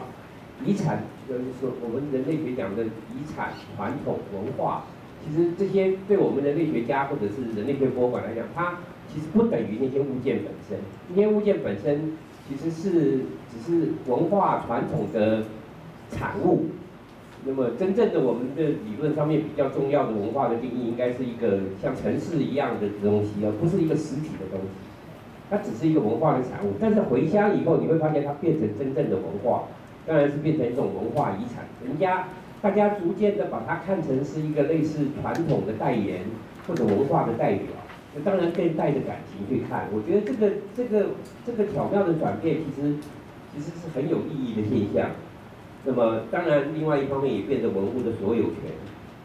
变得更更为争议。当你把这个东西呃视为一个传统，视为一个文化，那谁要该拥有这些文物的争议就因此而产生了。那么这是一个文物回乡、文物归还的第第一个、最后的一个一个一个一个趋势效应。那么，那我想今天也没有太多时间，也许待会会有更多时间来谈谈台湾博物馆的这个博物馆界的返还的现象。那我只能说，整体来讲，其实台湾其实完全缺乏一个像刚刚蔡老师、蔡老蔡教授讲的 NACRA 的一个法律架构来讨论或进行。任何性的、任何实质的规范，那么，但是在缺乏这个架构之下，其实我观察到的二十一世纪以来，一些台湾的各种人类学博物馆，它都以他自己觉得最适合的方式，像是前几天这个台大跟望家白义望家部落的这个的双面双面石雕的这个结拜仪式，或者之前的那个回那个那个那个。结婚仪式的方式，用祖灵回娘家的模式，或者像台博馆采取文物短暂时回乡的模式，或者是甚至在座的科博馆，或者还有这个史前馆，还有甚至顺义博物馆，也都各自发展出某些与地方博物馆合作、地方原地方部落社区合作的模式。那么就某种程度来讲，你可以都把它视为一种规范性的交流。当然，真正实质的规范还是没有成。那么在在缺乏法律架构之下，因此我觉得，在未来我们应该有两个关键性的议题应该要思考。第一个是台湾是不是要发展出像纳克一样的法律架构，进行实质的规范？呃，当然纳克其实其实今天没有时间谈太多，它有它的它的规范的，它这个法律其实有它的背景。台湾适不适合要这样子做？规范以后该规范给谁？那纳克刚刚蔡老师有讲说，他其实有的是牵涉到。规范的对象，我要还给，我要还，还给谁？我要还给，比方说那个望家那个双面石佛，他该还给望家部落呢，还是来义的？来义有个文物馆，来义这个来义乡的文物馆，那个是乡公所，来义乡公所的，那还是属于望家部落的，那还是属于更大的，接下来要成立的国立原住民博物馆，还是屏东县文化，屏东县的文化这个原民处也有一个博物馆。所以它到底要还给还给谁呢？这个这个这个倒是我们我即使我们要成立一个法律架构来讨论规范的话，也要思考的问题。那第二个当然就是刚刚蔡委员一直在讲的，一直在成立的国立原住民博物馆，要他在这个角色里面，当然国立原住民博物馆有它的其他的意义，但是在文物规范这个角色里面，国立原住民博物馆要扮演什么样子的角色呢？那么。他似乎的现在的想法是说，公跟各个人类学博物馆的文物看起来，他是希望是说，他直接把这些各公立博物馆的人类学的文物、原住民的原住民的文化遗这些这些直接移到国立原住民博物馆。那但是这样子是是真的归还吗？那么也就是说，这些文物你要让它回到，比方说在座有一个狮子乡的这个内文部落的秀娟馆长，那个前馆长也在啊。那他可能更希望狮子乡内文部落的大龟文的文物，其实回到狮子乡的文物馆，而不是放到另外一个国立博物馆的下面。那其实这个国立博物馆也是原住民博物馆，因此这就牵涉到到底我们这个文物规范，如果要规范的话，它是要再继续从从一个中央政府国力的机构博物馆，甚至这个博物馆这个制度架构之下被试出来，回到真正的部落的地方的手上呢？还是我们让它回到地方，但是还是让它回在放在地方博物馆？那刚刚郑委员也一直在讲，其实台湾已经有二十九个地方博物馆，那其实还不用提，还有一个。这个这个原住民文化发展中心，它也有一个博物馆。其实都就原住民博物馆的角度来讲，它应该是比较属于原住民博物馆的。那它跟这个国立原住民博物馆在规范这件事情上面的角色该怎么样子的分工？那么其实也是我们该思考的。那么其实但是最后我觉得看起来，无论是要回到国立原住民博物馆，或者是回到地方，其实博物馆这种制度和这种机构看起来在未来之中。大概都不会在我们视野中消失，所以下一场的这个这个这个讲会就是在谈原住民和博物馆。博物馆其实对台湾对原住民来讲，其实都是一个陌生的机构，但是它是一个却是一个无巧不成的，就在这个时代成为一个很值得很值得大家利用的一个特殊的制度和机构。所以这个制度机构如何未来？它跟原住民族群如何相，我觉得是一个重要的议题。但是这是下一场的议题。我今天就报告到这里，谢谢。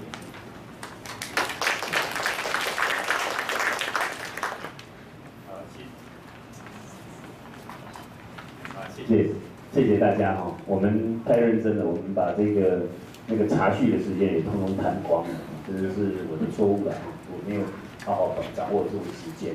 我我要特别替李子明讲一下话，那个当做一个当做一个国家里头收藏品最多的博物馆来讲，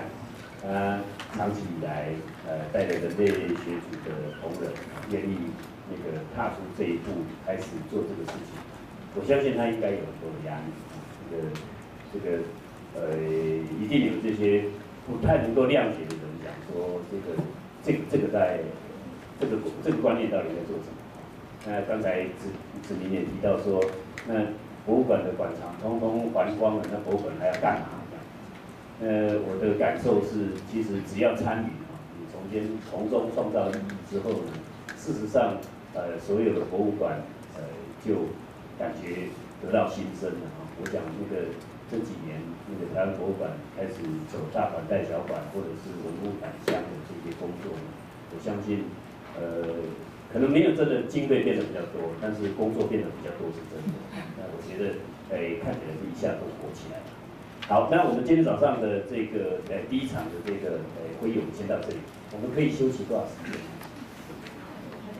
维持下去。哦，我那个休息十分钟。好，那我们就下一场的这个礼堂跟主持请准备哈。也谢谢今天那个第一场的这个蔡老师、王老师，还有子林，还有郑委员哈。我们那个诶休息十分钟，谢谢大家，谢谢。各位大家好，那我们就开始第二场的这个讨论会。我们第二场主题是博物馆与原住民文物的新关系。那我们这一场有五位，有五位来宾。那第一位是在我左边的布农族海端乡这个博物馆的社馆教育委员，这个马田先生，其实他也是。呃，近年来这个台湾这个呃各地的原住民博物馆里面，这个经营的最有声有色的一个馆员呢，他都是呃海端不农博物馆近年来之所以能够有这样子杰出的表现，其实应该都应该归功于马田，他不只是一个个很有规划力的在在地的部落的一个青年，而且他自己在对博物馆和原住民的关系也更只有他自己独到的体验。那么第二位这个何翠萍老师，何翠萍主任是中央研究院民族学研究所的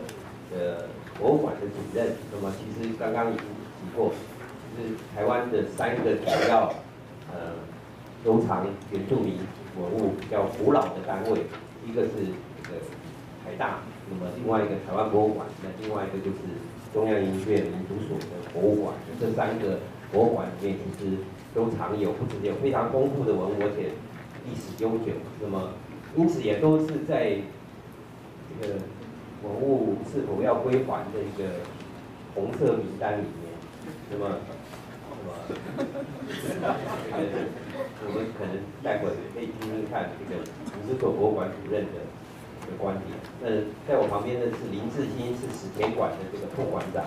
那么我相信大家也大概都都知道他，这个不只是博物馆的资深的资深，在博物馆界非常资深。那同样也是人类学的台大人类学的博士，本身又是非南族。那么其实他就是今天的这个题目的一个具体的一个结晶啊，就是博物馆、原住民还有人类学三个东西都集中在他身上。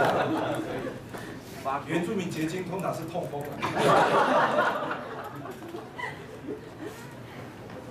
好，那我对我旁边的这个孙叶琪老师，他本身是一个大武龙族，他是一个呃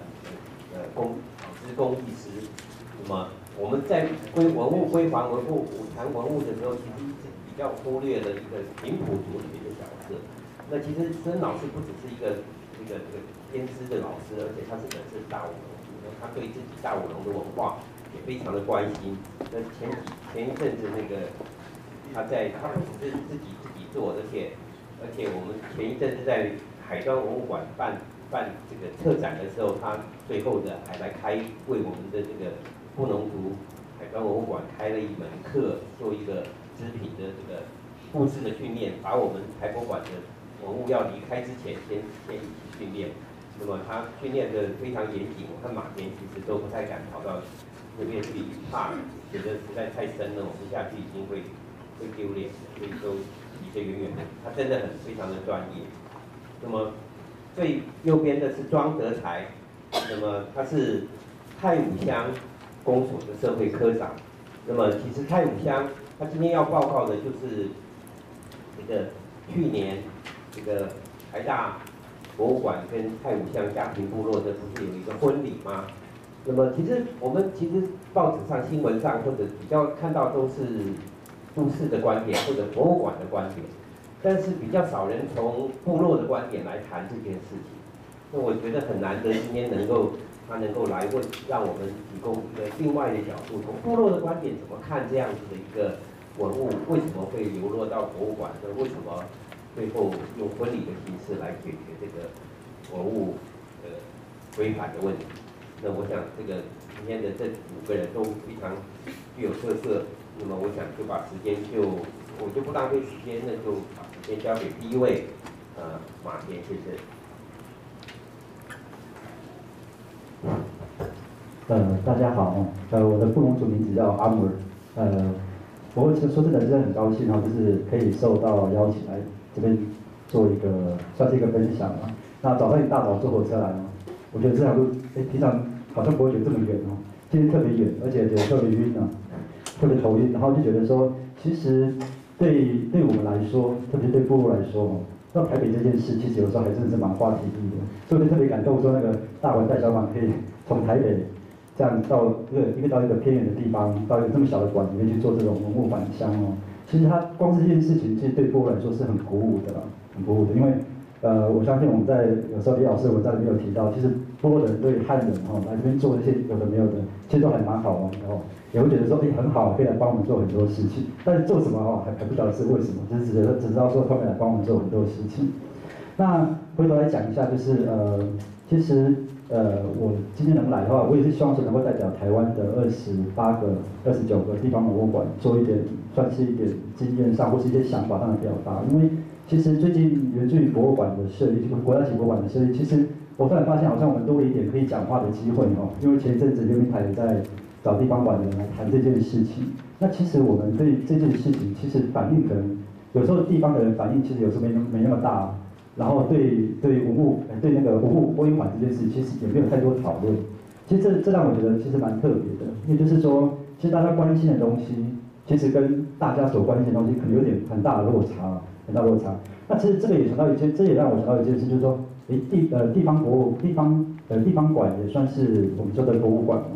那这个博物馆有没有可能创造一些更多的机会，让我们除了可以去了解这件事，或是参与讨论这件事，甚至最后有没有机会在地方馆去去一起决定文物馆归还这件事情？因为我们也不不可能有那么多那么多机会到所谓的这个都会区参加大博物馆的一些这种讨论的机会。可是地方馆如果它有办法的话，是不是有没有可能成为一个平台，公众公众议论的一个平台，一起讨论什么叫做文物归还，或者是呃我们他他如果归还的话，我们可以怎么做？那了解之后，我们才能够讲出我们的想法，讲出我们的想法之后，我们才有机会讨论它能不能被实现，找到一个我们都可以接受的方法。因为其实呃，台博馆的文物回到呃地方馆做展览，其实不瞒大家说哦，其实真正有相关生活经验的已经慢慢的不多了。我想李老师也知道，就是我们在做田野的时候，很多文物其实找不到找不到相关的经验，就那个老人家不见得有那个相关的经验，因为像现在七十几岁的老人家，真正有在投有经验参加编织的。其实已经很少了，因为很多人说他们其实那时候已经开始用很多现代的东西了，所以回头看到博物馆的呃那个台博馆里面东西，有些东西反而问不太到，那只能够透过一些很片段的记忆，那只有透甚至是透过重新的文物重置之后，才去回去了解那个是什么。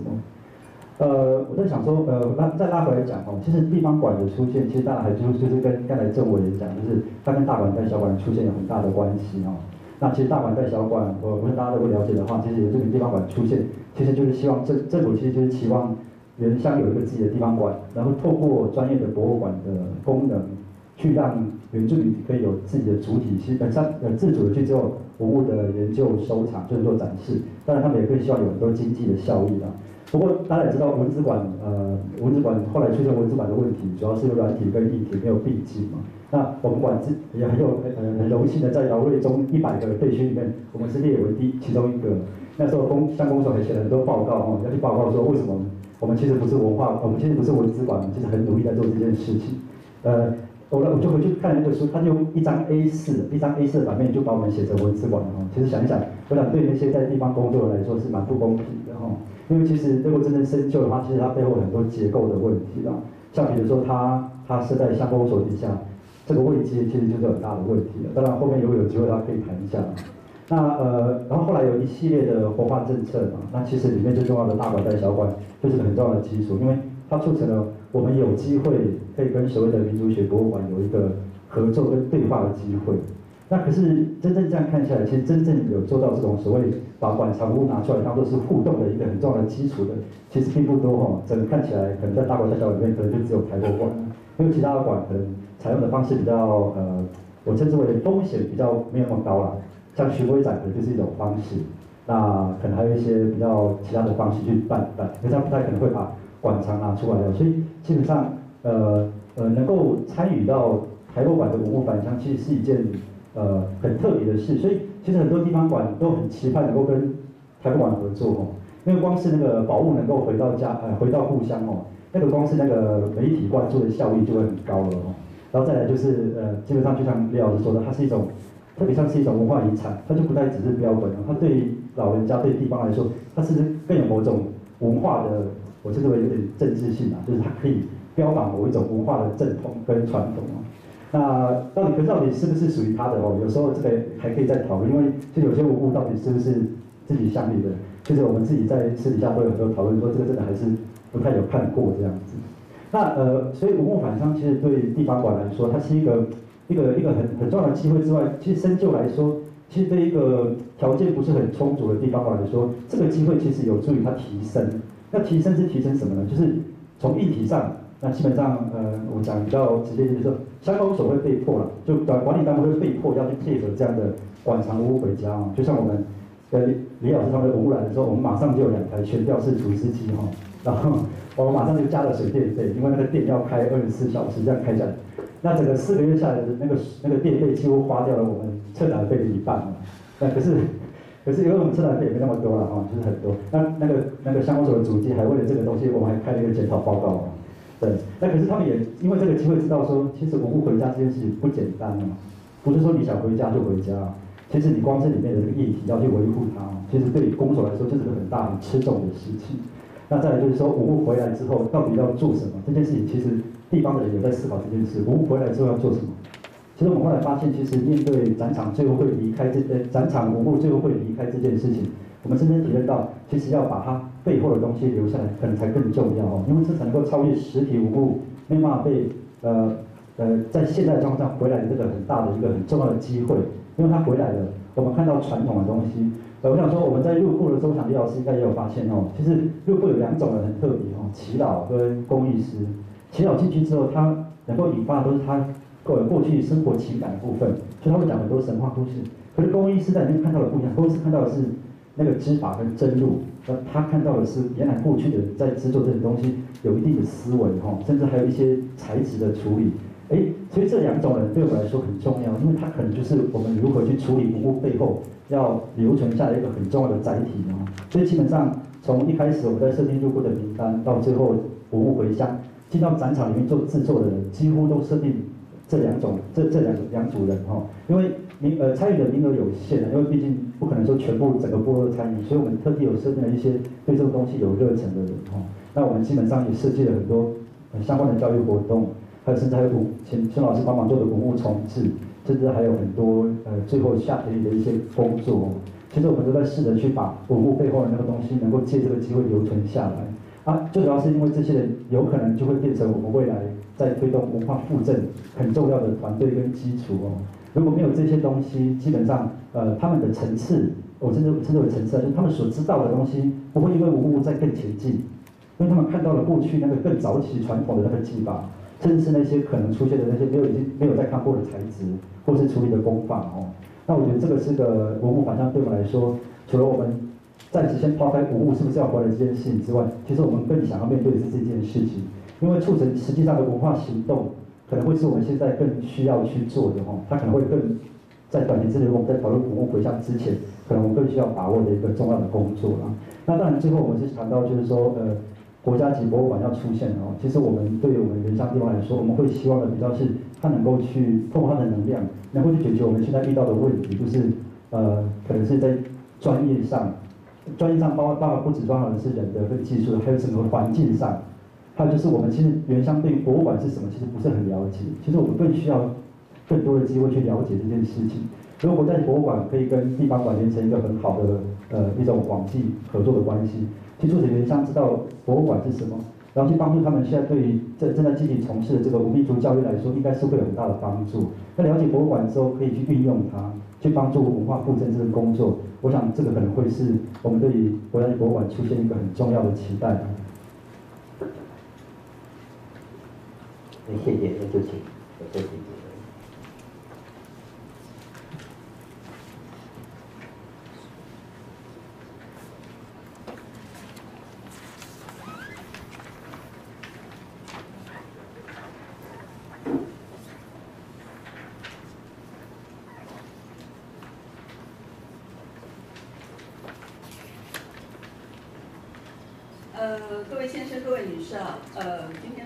兴能够来这个场合。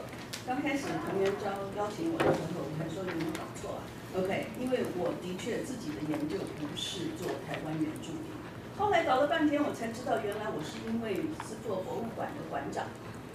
这个职位我轮到我做博物馆馆长这个职位，所以今天让我来这里。然后我今天到了这里了以后，我来知道这一切都是李子明的规划。OK，那然后。可是呢，今天我也很诧异的看到，今天第一场郑委员的这个呃这个台湾的这种国立博物馆的这个名单里面没有民族所，OK，没有民族所这个这个单位。那然后可是呃大概原住民的国宝第一个认定是在是在民族所，然后呢呃然后刚刚李子明也说，哎这个我们要面对这种这种呃文物返。还的问题哈，那嗯，我在给你们的 PowerPoint 上面，我没有讲我的立场，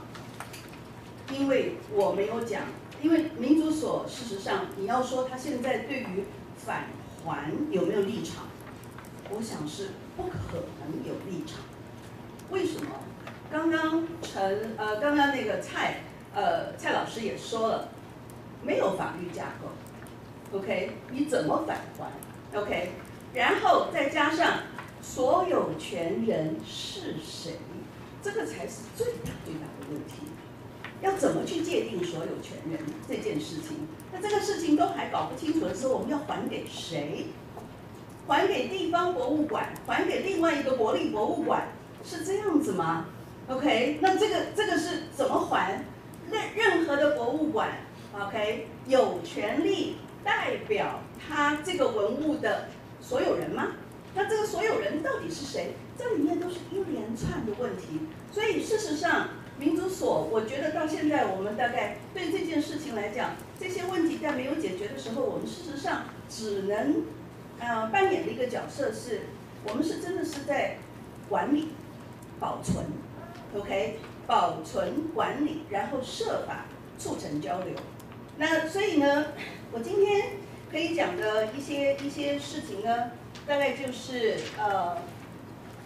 第一个我可以稍微讲一下博物馆的呃，就是民族所博物馆的这种原住民馆藏的简史。事实上，它一开始收藏是一九五五，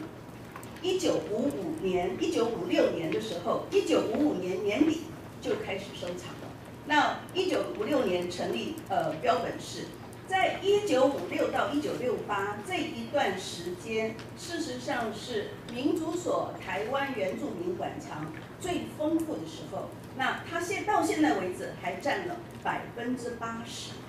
OK，那然后同样的，我们还有一批非常宝贵的相片，也就是因为民族所的博物馆是一个研究单位的博物馆。所以事实上，研究的意图非常非常的强，所以每一趟的田野的工作，事实上就伴伴随着摄影，还有收藏标本。这个就是在那个阶段的时候，呃，因为林纯生的关系，那所以造成了一个局面。那那个时候留下了五千三百多张的黑白影像，全部都是台湾原住民的，而且全部都是五零年代五六年一直到。差不多一九六八年左右的相片，那这些东西呢，全部都已经在我们的 数位典藏，还有博物馆典藏文物和田野照片上。我今天会发这个，也主要是打一个广告了，所以大家就可以点上去去看所有的这种相片，而且这些相片都是可以申请的，都是可以申请的，都有很好的这种程序可以申请。然后呢？在我们在二零一四年的时候，曾经做过了一个展示。那在这个展示的时候呢，我们就曾经讨论过台湾的人类学者和原住民研究。那在这个特展里面呢，我们事实上就用到了很多很多这种博物馆收藏的相片和物品。这个东西，所以这个东西也可以上这个网址，因为这个这个特展已经成为了一个数位展。所以大家都可以到那个网上面去看它，去浏览它。那那个上面相当的丰富，嗯，然后那我们在藏品的研究、保存和流通上面呢，我想我们做过的事情，当然我们的确搞了一个颇为美轮美奂的这个博物馆啊。所以这两这个两大件的国宝呢，你们大概都看到了，一个在那个地方，一个在这里。OK，这个是民族所博物馆的现状。研究是我们的主题，它之所以会成为国宝，完完全全是跟他的研究的材料非常非常丰富，而且使得我们可以讲出这个物件的重要性是什么。所以没有研究搭配，这个国宝要成立，当然它也有美学的一个一个一个一个一个一个判定了哈。那所以使得二零一六年的时候被指定为国宝。那同样的，阿美族的答案这个祖屋的。这个雕刻柱呢，也是在二零一二年的时候指定为国宝。嗯，研究、收藏、研究、收藏，持续的保存和研究，这个事实上是我们还没有完全公开的一个东西。那这个也是跟阿美族的答案家非常有关的。可是你们看到它的。毁损的状态，那我们就以从一九五六年，呃五八年收集到现在，它并不是因为博物馆收藏变成这个样子的，而是它收藏的时候就差不多就是这个样子。然后呢，所以它收藏这个样子，我们就天天给它熏蒸，我们就常常熏蒸它呀，保存它，使得它现状还保存的非常的好。然后呢，这两年我们还继续做一些紫外线和红光线的一些调查。看看上面还有什么样子的纹样。那这件事情呢？呃，我们找了关华山来看了一下，我们就说这个东西很旧，铸的很厉害，纹样很不清楚，然后这个保存的价值在哪里？然后关华山的观点，那么关华山是有做原住民的建筑，他的观点就是说，这个东西事实上可以对于研究老的工法、建筑工法上面是绝对会有一些价值的。那这这个事情就是我们就是持续的保存和研究。嗯，现在呢就谈一下民族所博物馆到目前为止我们所做的一些文物社群和博物馆的三方关系。那第一个就是大概所有的博物馆都在做藏品调阅和数位典藏图片的流通，这个大概就是所有的博物馆都在做的事情。那还有呢，就是与藏品来源社群的交流活动。那这件事情呢，我们也做的相当的多，尤其是呃跟这个这个这两件国宝很有相关。还有就是很多的人事实上都会来调阅来源部落，他们都会来调阅。那然后这些东西我们都有非常清楚的程序，那然后步骤啊可以申请，然后我们都会想尽办法促成这件事情。然后呢，当然还有借展，还有藏品复制，最后还有一个叫做共作展示。我稍微解释一下这个藏品复制这件事情。在民族所的博物馆和阿美族呃大开巴朗部落的合作呢，是在二零零三和二零零四这两年之间不断的发生。然后那个时候，开巴朗部落事实上就就就希望讨论重建和赢回这个卡达案这个祖屋的祖灵柱的这件事情。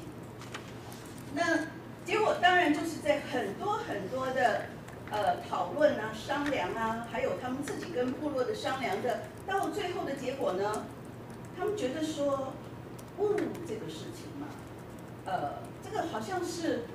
蒋斌引用撒布六的一句话，好，好像是讲法是说，这个博物馆的收藏文物嘛，就好像把一那个一个文物用那个塑胶膜包起来。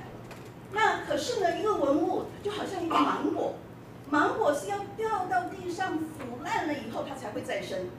所以呢，也就是说我们在博物馆收的这种东西啊，它其实只是它的尸体而已，或者是说是它是那个它事实上要从那里要再生出来，才会是一个生生不息的一个文化。OK，所以呢，这个呃开发朗部落呃。自己本身大概也这么觉得，结果他们到最后所做的决定就是把祖灵迎回去，把祖灵迎回去了以后，那再呃做了一些祖屋的新建。那民族所那个时候就协助了祖灵柱的复制以及的相关的经经费，还有各各种各样的事情。可是就这件事情来讲呢，事实上里面的曲折是非常非常多的。那所有权的问题，到底谁可以？这个到底这些柱子应该要盖在哪里？然后卡蒂达安家族可不可以代表泰巴拉？可不可以代表阿美？这些所有的这种所有权的问题，都是一连串一连串的问题。那这些问题呢？吴台丽老师在去年我们所庆的时候，他就写了一篇非常非常详细的文章，把这个来龙去脉都讲得非常清楚，而且把后续的发展。也就是这个主灵柱回去了以后的后续的发展，呃呃是什么？然后到目前为止有什么样的争议，或者是没有争议这件事情，那他都写得非常清楚，应该是马上就要出版。OK，那然后当然吴老师还有一个让灵魂回家的这个灵魂式的纪录片。最后我必须要讲一点是，我们博物馆啊，就是在九月十九号，今年今年就是才上个月而已。上个月的时候，我们通过了一个，呃，我觉得是一个很棒的一个一个一个一个法条。那这个法条呢，我们基本上是鼓励国内的藏品来源相关社区、社群、机构、团体和所内的研究人员共同提出非商业性展示的借展申请。OK。那这个东西呢，我们事实上要突破的一件事情呢，是我们要突破既有的博物馆的框架。也就是说，如果你一个团体，你有一个意愿，想要做一个展示，而且想要利用既有的藏品做一些展示的话，那你可以提计划书来，然后我们找一个研究人员，或者是你们就找到一个人员，或者是研究人员找到你们，OK，然后一起来做这件事情。那这件事情，民族所是比较有本钱，因为民族所就是个研究单位。那研究单位就是有一些台，就是研究台湾原住民的研究人员，就是有，在在他在这个地方到处跑的时候，他事实上对于文化产业这件事情。对于文化一个地方一个人群想要呃想要建立起一个标志这件事情，他事实上是有更好的第一手的消息，然后它可以和地方的人群形成一种共作的关系，也就是我们讲共作人类学，OK，那共作的关系，所以我们就叫做共作展示。那这个案子等这个法条等于是才通过，不过呢，在这个法条里面，国宝和国宝是不能借的，OK？国宝大概出不去，因为法律上面就突破不了，OK？那然后珍贵动产要出去，也会有点麻烦，因为它的所属机构太多了，OK？那所属机构太多，你就必须要层层得到核准，它才出得去。那所以这些东西有它的限制，可是不管怎么样，我觉得我们跳出来的这一步呢，事实上想要。回应的一个问题就是说，文物的所有权人到底是谁？因为文物所有权人这个事情是非常尴尬、非常复杂的问题。那大家都应该要想到说，我们其实更重要的是一群人有没有这个心意，有没有这个创意，有没有这个想法，想要让这些东西在他们人这个人群当中的生命里面发挥一些作用。如果有，就提出计划来。我们大家一起来做，那这个是呃民族所博物馆现在我们做到的一些事情，呃，也是我们唯一可以表达的一个立场吧。OK，谢谢。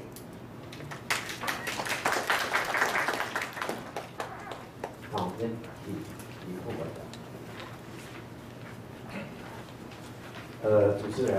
呃，各位贵宾，呃，大家好，呃，很高兴能够来参加这一个呃活动。那么，呃，我们这个场次是谈博物馆与原住民文物的关系，呃，所以就这个关系来看的话，原住民的文物，呃，博物馆和原住民的文物有过去的关系，呃，大概就像台，呃，台湾大学台博物馆，呃，比较多是过去收藏的文物，呃，现在的关系就是像史前馆，大部分是在最近呃。收藏的，呃，未来的关系，那有可能是未来的国立台湾原住民，呃，博物馆或者是新要成立的博物馆可能会产生的关系。那当然从关系的性质来看，会有物的关系，呃，呃，物的权利关系，物的知识关系，还有物的情感关系。可是我想，在我前面的很多位学者都已经讲的很多，那我就不知道要讲什么，我只好讲自己的故事 来。给大家反省反省一下。呃，从我自己的经验里面来看，早期我比较多在部落里面听到家人会喊亲戚的，哎，那个重要的东西哪里去了？呃，人家买走了，谁买走了？好像是博物馆买走了。好，呃，那就比如说我们呃，卑南社很重要的卑南王的文物，呃，他的朝珠，他的衣服。哪里去了？呃，后人说可能被博物馆收走了，可是我现在还没有听到哪一个博物馆说有收到这些，呃，有收到这些文物。呃，阿里山的比较好，阿里山的还保守在自己家人的这个手中，同样都是乾隆时代的这个文物哈。呃，北南组的有部分不见了，那也就是说可能是落到收藏家的手中，或者是博物馆的这个手中。那么。呃，这是早期我会面临到，就是呃部落里面的重要文物的流失的这个情形。那呃，我加入博物馆的工作以后，呃，我出现的最大的是还没有加入博物馆，但是我出现一个很大的对我的影响的是卑南遗址的发现，我参与卑南遗址的考古工作，然后我在那边挖石棺的时候，我的亲人从后面叫我的名字，然后跟我讲说你不应该在这里，啊，因为这个是族人害怕的地方，呃，禁忌的场所。然后我站起来，不知道怎么跟他回话的时候，他就告诉我说啊，没关系啦，你是研究这个的，哎，你你你你继续做哈，呃，所以那个时候就是第一个让我产生呃冲击，也就是说就在部落的旁边的遗址出来的这个东西，族人对他的感情感觉哦是怎么样的？那这个空间和部落之间的关系到底是什么？那第三个跟我这个在博物馆工作当中，呃，有很深刻的，呃，比较重大的，呃，也碰到很大的挣扎的，就是卑南文物的移转。那么这个卑南文物由台大移转到这个呃史前博物馆，可是很多人在讨论这个问题的时候，都是从缓缓的角度来看。可是对我仔细回看这个事情，其实是一个机构到一个机构。的一个一个过程，虽然中间有原住民的参与，这个参与多少比较像是被动员的参与，因为我们被那组人很怕，所以都没有参加，呃，参加的都是阿美车，嗯，所以这个呃，在这样的过程当中，我比较认为它比较像是机关和机关之间的移转关系，呃，呃，这个呃，不过呃，这个还可以有很多的讨论。那第四个。是我加入博物馆以后开始参与收藏的工作的心理转折。呃，我初初一九三一九九四年参与博物馆的工作，然后跟着同仁去收藏家的这个呃家里去收藏文物，我是很震撼的，因为面对那个满坑满谷的堆积在那边的那个文物，然后我们从那边就开始挑，呃，很错愕的。这个感觉到为什么我们的文物是这样的流，而且那么大量的流，那么那么大量的这个流出，所以那个之后我很长的时间没有参与，就不参与那个，因为我心理上会不舒服，呃，就没有参加这个文物的这个收藏工作。那有时候我会听到那个有些收藏家族人对他们是很紧张的，因为他们很亲切的来拜访之后，家里总是会丢掉一些东西。啊，所以，呃，所以我我我最初在博物馆的工作里面，对于收藏文物这个东西是心情上是很挣扎的。可是后来呢，我在博物馆有机会，有比较大笔的一笔钱，啊，来执行这个呃为史前馆执行这个文物收藏的这个计划，呃，心理上又又回来了，因为借有那样的计划，我们把。许多流落到国外的原住民文物收回来，啊，包括很珍贵的呃呃泰雅族的呃那个呃贝珠衣，哇，还有呃很很呃布依尔族很多了哈。那某种程度来讲，又觉得是有贡献。那这期间有一个最特别的故事，就是圆明会的副主委钟新华先生带着他们的部落的人。到史前馆的典藏库参观，然后共同发现，原来我们从收藏家里面买回来的文物当中，有一个就是老七家的横柱，哦，是真品哦，是他们的呃这个部落里面的那个，所以他们一直想要把那个地方变成世界世界这个遗产的地方，但是那个文物现在那个最重要的这个横梁是藏在史前馆的典藏库里面，就从这个角度来看。博物馆是有它极大的贡献在里面，呃，也就是把文物找回来，然后加以这个好好的保护。可是，在这收藏的过程当中，也碰到一些特别的故事。我有一个堂姑，生前她是女灵媒，那通常这女灵媒过世之后呢，她的文物就是要被处理掉，就是不知道会到哪里，就是就会就会被处理掉，就没有了。我一听说。就呃过呃去跟我的这个表姐啊谈，那他就把这个文物就全部捐给史前馆，他的整套生前的文物就是史前馆。当然，我们除了收文物以外，我们还希望知道它背后的这个知识。我们想要邀另外的女灵美来，呃来看文物啊，说故事，就是不肯来，呃就是不肯来，因为对他们来讲，那个是。当然有很错综复杂的因素在里面，今天一下子讲不完。我们只好请其他不是从事女女灵美的这个工作的人来到博物馆里面来看看东西、说故事。当然这样的这个就不够完整，不过我们也是尽量的时候去看，呃，能够把他的这个知识能够恢复起来。那么除了这个以外，呃，史前馆的这个卑南文化公园，呃，跟鲁尤马部落之间也紧密的，长久以来成立以后，呃，从这个空间的关系到记忆的关系，也是在博物馆发展的过程当中不断紧密的结合。所以对部落的人来讲，这个空间本来是有距离的空间，到现在已经发展成为。是举行重要记忆的场所，甚至于是恢复，呃，过去中断很久的记忆，像小米记的这样仪式的这个空间，呃，所以它产生了这个，呃，不是自由物的关系哈，是整套知识和仪式的这个重新呃复建哈。这是呃从博物馆来看跟原住民的关系，那从原住民的关系来看博物馆呢？我就看我们自己博物部落里面博物馆化的行动，在我自己的部落里面，其实有试着要建立博物馆。第一个是在国小里面建立乡土教育馆，那是教育部一九九六年补助经费所成立的乡土教育馆。那第二个是因为有教育教育方面的钱，所以成立了教育文化园区，所以在那个地方就复建了会所。附建的这个少年呃聚会呃呃成人聚会所、少年聚会所，还有传统家屋、牛舍这些，这个其实某种程度来讲，它其实就是博物馆的这个功能和这个教育哈。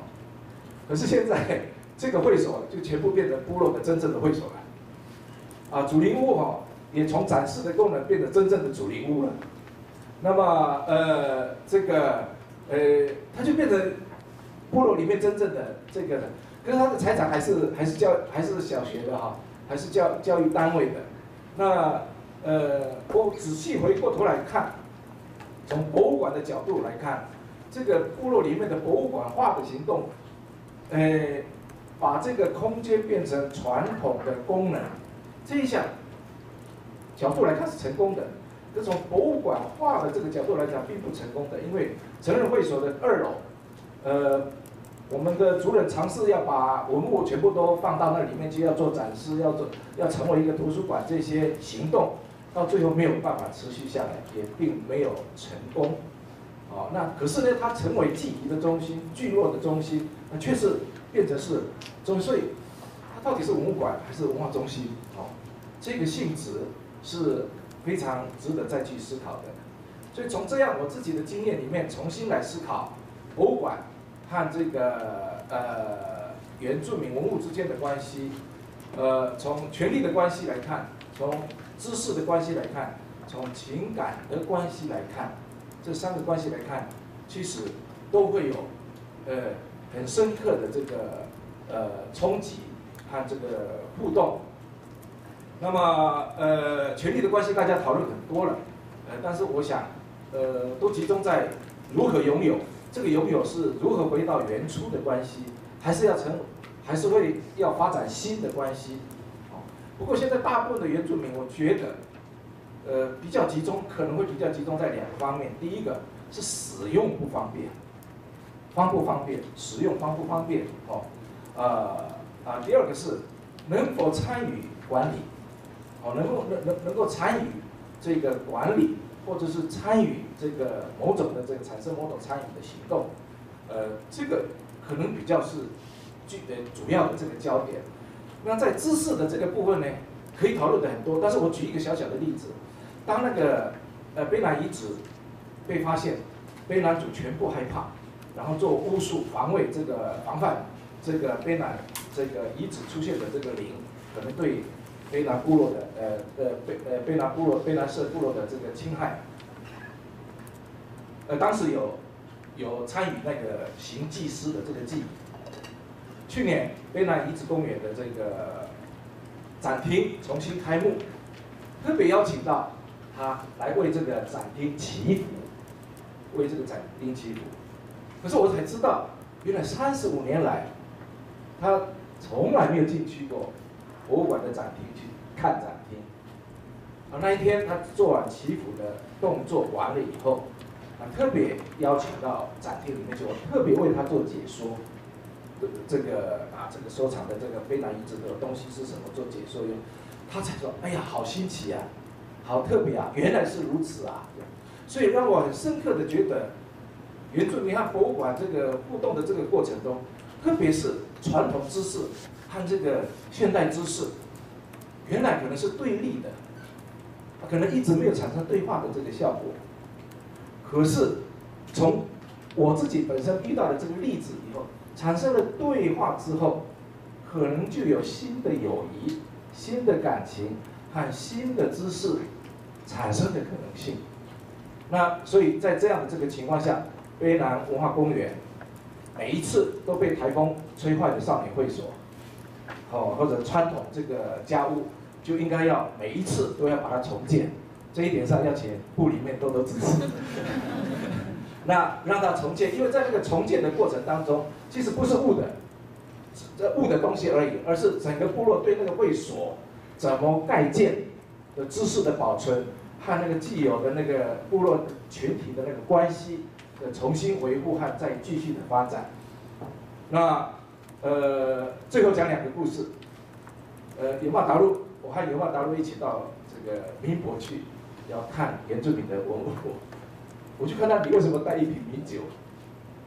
原来他要进博民博之前，他拿出米酒，先进行仪式，哦，先进行这个祭告仪式的，因为他等一下就要跟这个祖先的文物相碰到。有一个朋友啊，我和呃孙副院长一起的朋友，他到东京博物馆，那东京博物馆特别招待他下下去看原住民的文物。看到了原住民的那个他们族的那个陶壶，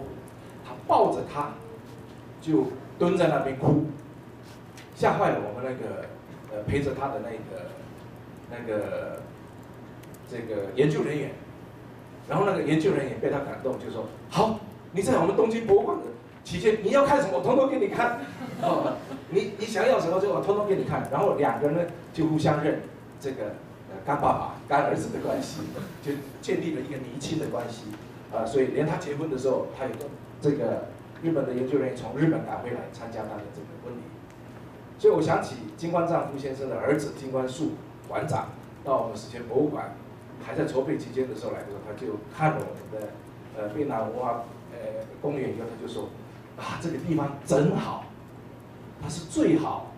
发生博物馆和社区一起成长的地方。以上报告完毕，讲讲太久了，谢谢大家。老师，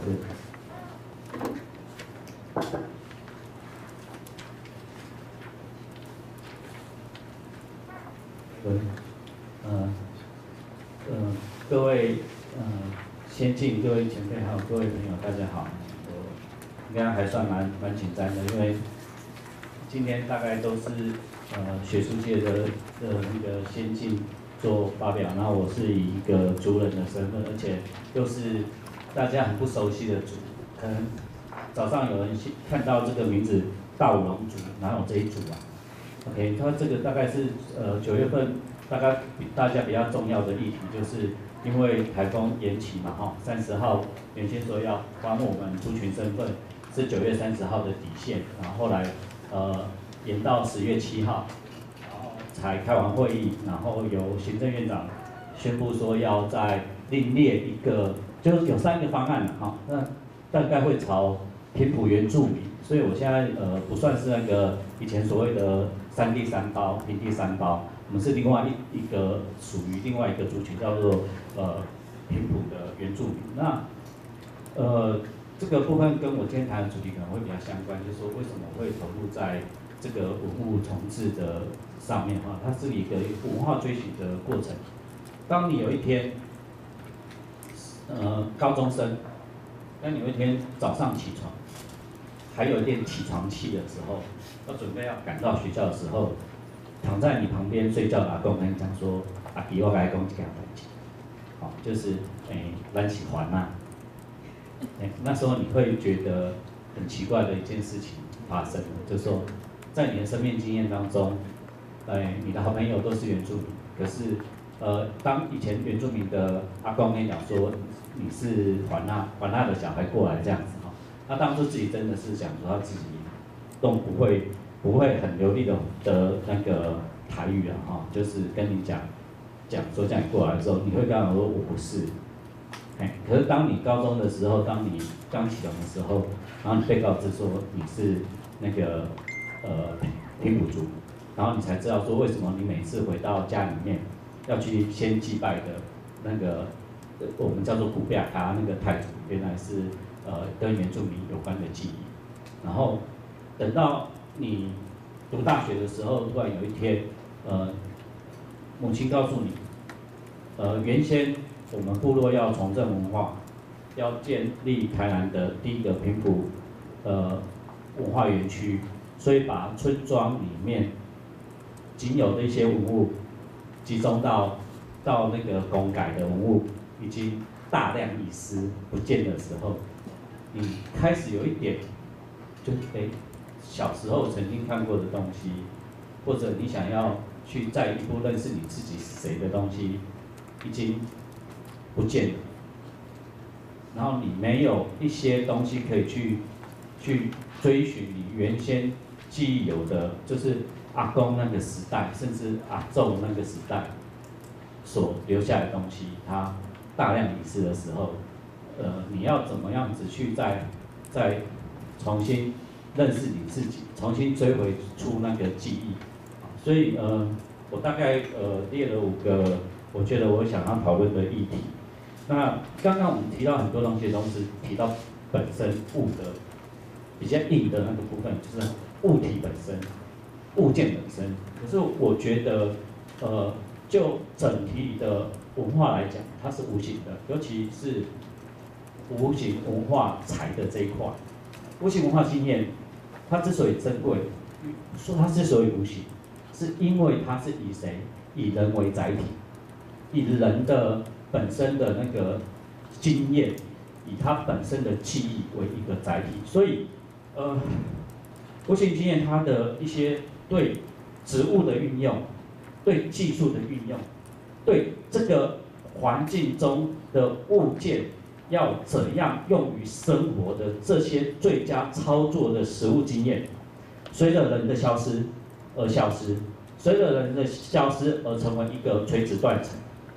呃，我们曾经跟我的一些学生说，原住民族里面的非常多的传统技艺，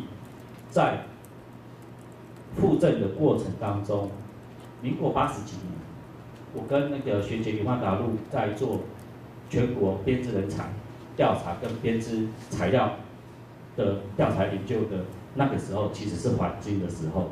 那个时候日据时代。所遗留下的珍贵技术的技术拥有者，其实是抱着遗憾而走，因为在那个时候、那个年代，因为整个社社会经济环境的变迁，许多族人被迫必须要流入都会区，为了要养家活口，所以他们对于这些原先应该由母亲或者阿公。身上所学到的记忆，在他还来不及去学习的时候，他就已经什么就不见了，随着人的消失而成为一个垂直性的断层。我们现在可以看到的部落的现存年纪大比较大的工艺师，你去仔细去调查他的他的那个整个创作经历，你会发觉他他是要在他卸下了他的养家活口的那样子的。的那个责任的时候，他才可以仅凭着他残存在脑里的记忆里面的东西，把它再重新找回来。我举一个例子，八八风灾的时候，呃，我被我们辅导团队派驻到阿里山，所以我住在组合屋。那时候有一个重要的工作，我那时候的服务点在那个。当拉伊古的所在地，萨米基，另外一个部分是大家不愿意去的，那时候路断了一塌无毒，根本要进去很难进去的伊斯基亚纳，对哈，萨米基跟伊斯基亚纳，呃，还有另外一个里奥兹纳，哎，那边是人人要进去的地方。那那时候，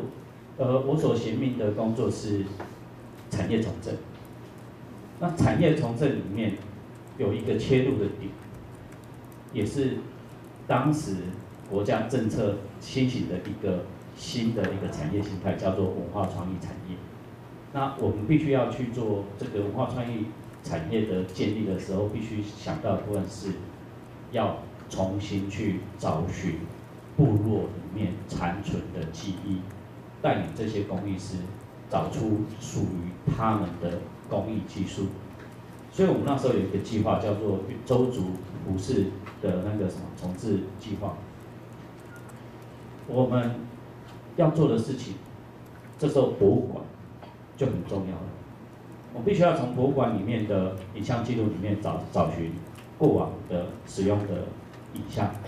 我们必须要从博物馆的文件里面去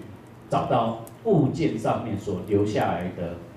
的那个物理痕迹。我们常常在讲，就是说，呃，最近几年我常到博物馆，那我在我的 FB 上面写说，我今天我又要去验尸了，验尸啊，就是因为它是被躺在博物馆里面冰冷未被使用的尸体，呃，对不起，呃，物件，那就像那个李老师讲的，他，呃。这些东西可能就只是单纯的标本，就有点像我们以前读昆虫系躺在躺上标本馆里面的标本一样，它它是冰冷的，所以我就常说我要来去又要去验尸了。当这些物件不被使用，这些留在物件上面背后的知识，它会消失。这个物件背后的东西的消失，它代表一连串对土地上面环境上面的植物。动物使用的经验，使用的语言，它要加工处理的时候，它繁复的一些很多很多的时候的那个一些语言，它完全消失了。我举个例子，一样是在周主那边，我们去伊斯基亚那或者去里亚乌兹那，在谈的时候，我才知道说，哦，原来周族的地瓜。地瓜它里面有很多很多很多不同的紫色，都是讲地瓜。可是因为地瓜被吃的、被使用的、被它的所有的的状况不同，它会有很多很多的非常非常优美的词语。这些词语是那时候跟我一起进去做田野的四五十岁的人听不懂。先回来再去问年纪更大一点的，他们才会使用的一些词。那这些东西都是一件一件的物件上面，它可以才才可以再反映出来的一些知识的系统，在在这上面。那所以呃，我们在做进那个里奥兹纳那边有一位长者收藏非常多的周族的文物，我们去那边开始在一件一件检视它上面的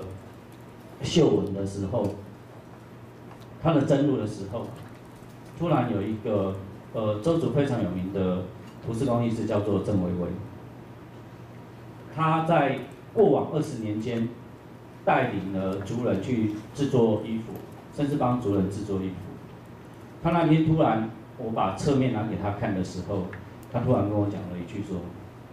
他没有想到他二十年来教族人的技法是错的。那。我说你已经是一个这么重要的一个呃工艺师，而且受过福大的的训练，为什么会犯这么大的错误？他给我回应的只有一个，因为以前的学者进入部落的老师都告诉他的袖种是哪个，所以他不会认为说在这个区域里面所使用的袖种，居然是他们。跟西洋绣毫无关系的一种袖子。我想要说的部分是借由田野调查，借由博物馆，我们重新去解释这些文物的时候，它里面会有很多很多的痕迹证据，可以告诉你，这些痕迹证据，不管是织入，或者针入，或者我们编的手录，或者我们制作雕刻的一些手录这一类的东西，它是一个引领我们这些要重新认识自己是谁，要重新找回一个族群、一个社区、一个地域的主体性的文化的是的一个什么回归的路，也是我们常会说引引回我们祖先灵魂的路，这些路都被什么被烙印在藏在博物馆的这些的文物上面，所以我把这些一具一具的尸体。这些物件、这些硬的东西的这个东西，认为它是一个烙印部落曾经有过的生活经验的这个记忆。OK，还有先民怎么样子去处理这些物件的格物的精神哲学，全部都是在这个物件上面作为一个硬体。OK，那所以我认为博物馆它就好像是暂时储存这些先民他们在生活当中的生活哲学经验使用说，比如说我照这个竹子要用，我知道要做这个呃织布机的的提提中的时候，我要用什么样的植物？OK，。这样子的呃运用的那种精神哲学，跟他为什么要在这个地方要使用弯烤，这个地方使用刀子把它切削成比较薄，再进行弯曲这一类的工艺师本身在制作工序上面的逻辑思维，还有他去判定怎样子去运用外来的毛线、外来的布匹，去创造出具有。族群特色或者家族图文的这样子的物件的什么最佳实物经验的的部分，这些东西被大量的存放在哪里？被存放在博物馆。所以这个博物馆它是一个记忆记忆体。可是呢，会有一个问题，我们到底是要去建立出重新读取这些记忆体的这样子的一个？经验这样子的方法，也就是永汉达路学姐常讲的，就是说一个民族学校的建立。这些民族学校是要重新让我们有机会让这个记忆体重新被运作、重新被读取。OK 的这这样子的模式，可能会比说我盖了非常非常多的博物馆来的重要多了，因为它。目前，如果像之前说的去盘点全国的收藏量，全国私人的这些，它出来的东西就是一个一个一邦邦的躺在抽屉里面的的标本，你还是要把它抽取出来，你要把它像一本一本的什么书一样拿来阅读，把这些本事，把这些。精神哲学、思维逻辑，甚至可以在恢复的技术，重新回到我们原住民的身上。因为我觉得物件是存在的，可是技术是消失的，甚至它的使用经验是消失的，它背后的庞大的知识系统未被完整的在被保留出来，甚至被挖掘出来。这这个部分反而是我们这些作为文化工作者觉得。恐怖的地方，我再举个例子，我们呃原原民会其实说真的还蛮照顾我们这些平埔原住民，在我们还没有被认定身份的时候，我们其实有一些计划在执行。那其中有一个计划就是我们年度重要的记忆是业绩，业绩的的精神信仰中心是公蟹，公蟹蟹上面每一年都必须要去翻新。它的茅草，OK，它就像周族的库巴要做翻新，必须要有大量的人去取这些植植物，到爬上去屋顶上面去翻翻修它。呃，在执行这个计划的时候，遇到一件我非常难过的事情，就是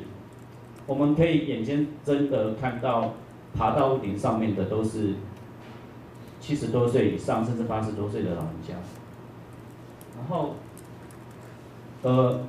其中有一个我自己的我自己的叔公跟我讲了一句话，呃，我就非常难过。他就讲说，我们现在还爬得上去，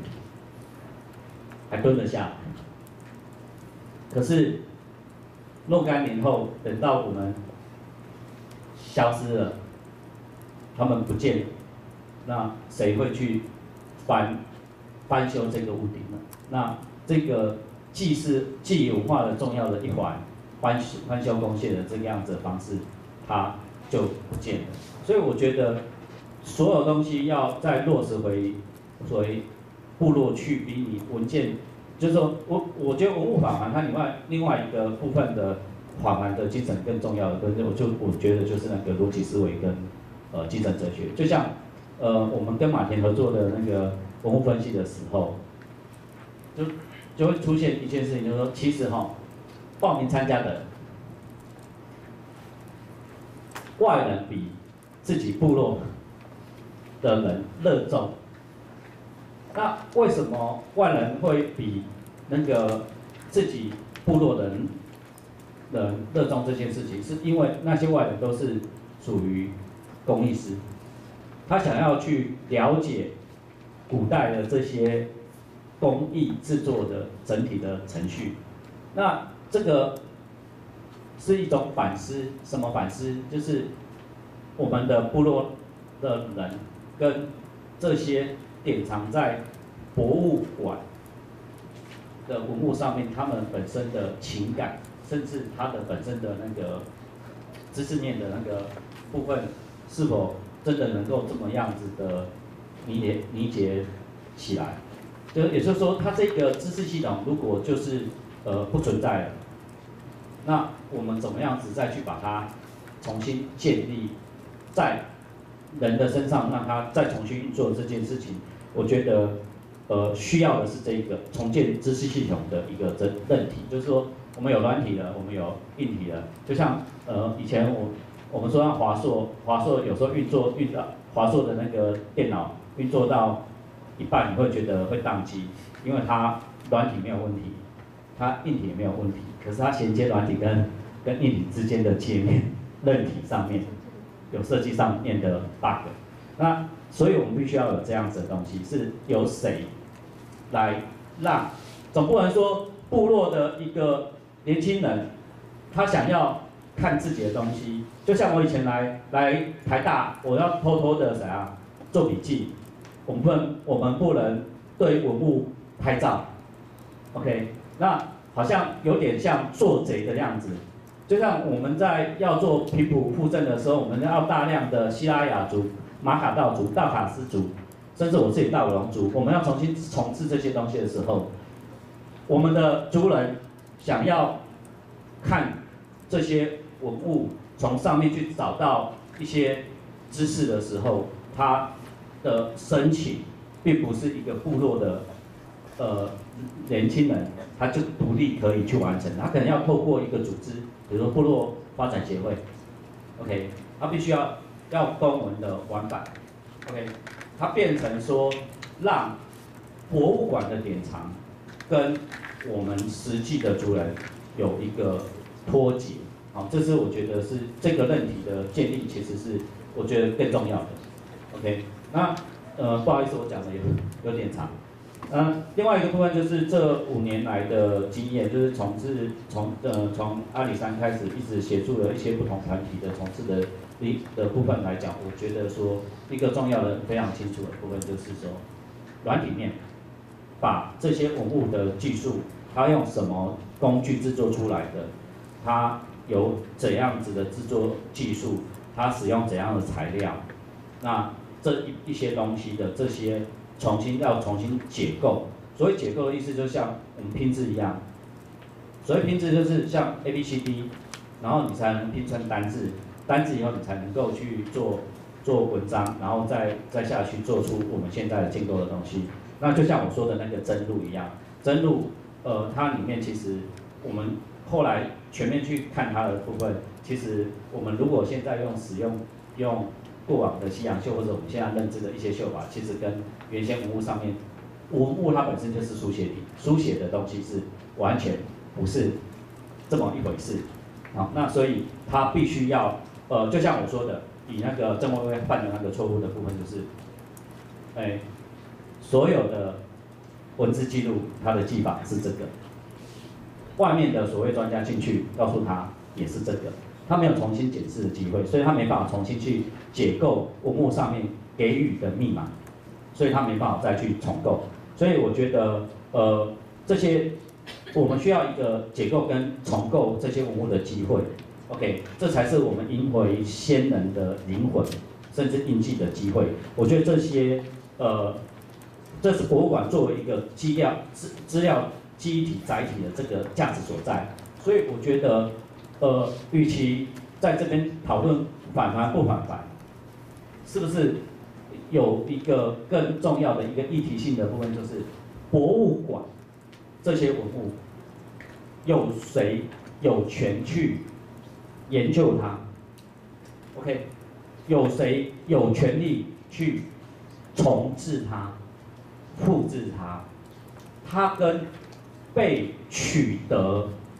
东西的这个位置的所在位置这些社群或者地域，它的那个伙伴关系，应该要像台博这样子，采更开放的方式，不但在文物返还的期间，借由开柜开，就是我们要呃。把文物重新展示的过程，或者要重新收回博物馆的这个过程，在开柜的过程当中，有机会让族人能够重新参与、重新机遇、重新学习，甚至他可能在大馆带小馆的筹备的时间，我觉得时间可以再更拉长，拉长到说可以让他有让祈祷他们有机会去。去那个就是以现金关的方式，它其实很好，但是它是不是可以在筹备的时间更多的族人可以有机会去做参与，甚至跟去组织这个文物返还以后的整体的知识体系建立的过程的这个机制，也就是我刚刚提到的那个认领面机制的部分，是我这次呃花了比较长的时间跟各各位分享的一个一个呃想要提出来的一个。呃，新的一个议题吧，就是呃，也许待会可能请那个李老师可以 可以可以就这方面的问题，可以再再讨论这样子。好，谢谢。谢谢。是庄科长。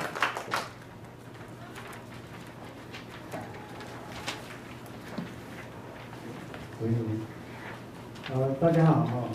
呃，我叫庄德才，我是来自屏东县太武乡，呃，我是台湾族哈。呃，我一直在部落里面啊回乡服务之后呢，一直在部落里面去接触部落很多的事物。啊我们部落呢比较少人去研究我们过去家庭部落好多好多啊文献哈，日本有记录，还有很多很多的文献，还有。我们部落人竟然没有啊！我对这个区块我就很有兴趣，所以我啊部落很多的啊工作呢，文化工作我几乎都有参与到哈。好，那我直接切入主题，就是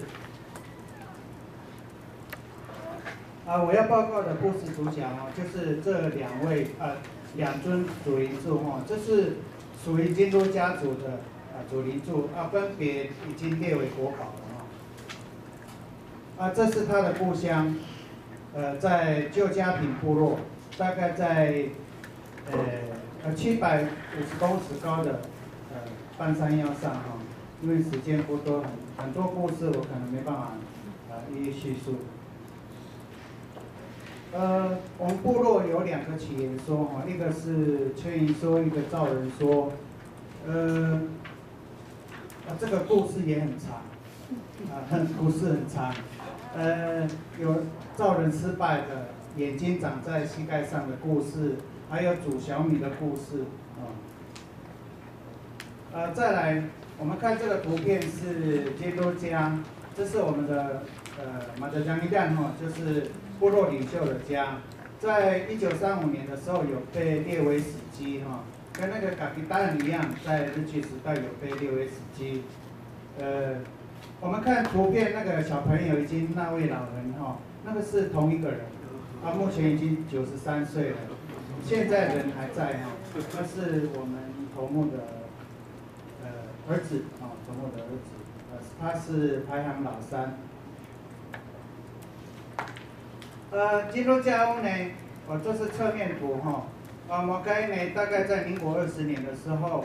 呃日本人要把这这个家屋要列为史迹的时候呢，啊，做了一些整修，就把马开给它换掉了，因为它有一些啊腐坏的情形哈。当时是帝国大学收藏的。呃，再来摩利丹呢，呃，它是在民国四十五年的时候，呃，中研院啊做部落部落调查的时候，啊，被民族所所收藏。啊，这是呃以前的。呃，内部景象哈，啊，这个是烧麦哈，已经不见了。啊，这个牡蛎丹现在在中研院，这个人拉丢拉丢也是坏掉了。啊，毛盖在这边，啊，毛盖在这边。啊，这个请参阅资料。呃，我们嘉平部落的雕刻特色哈，它是手纹，啊，都会看到手纹。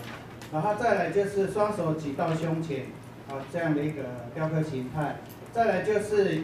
呃膝盖哈有眼睛，就是我们造人说里面的一一则故事哈。嗯，还有右边这个摩利丹那个眼睛很大哈，它其实有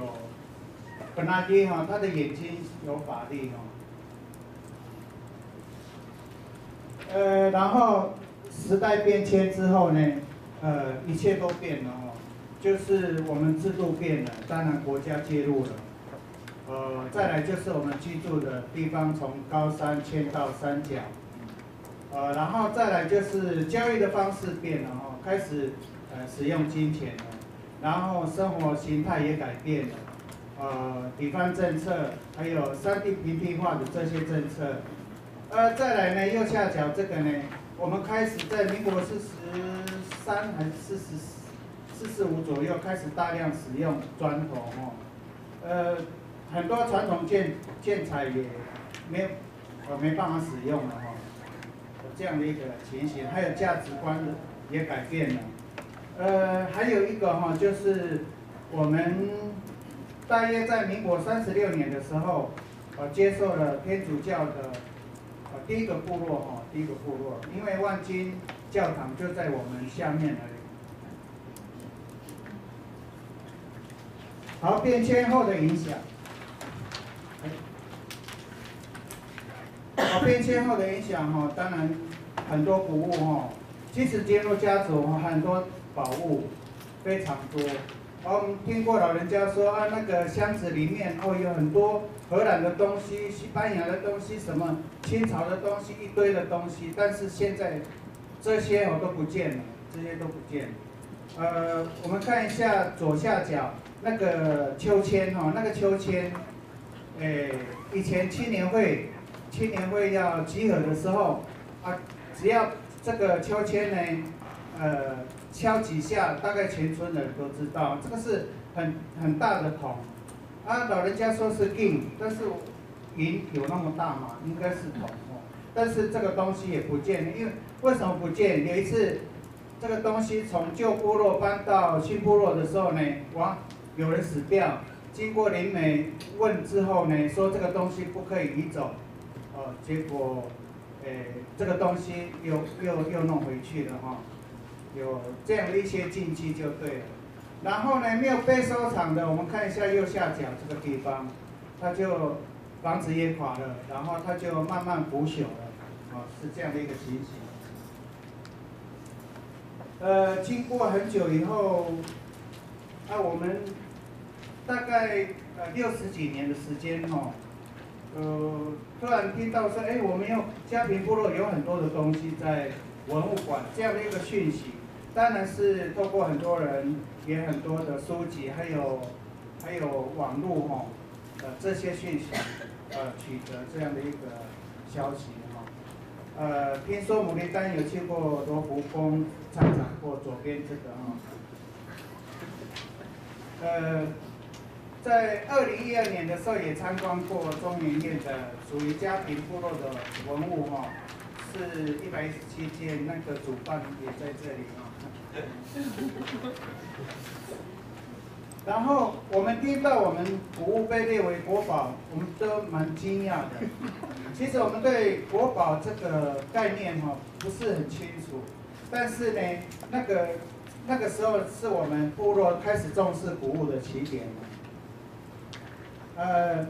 四大原住民国宝里面呢，中间这两个就是属于我们部落的。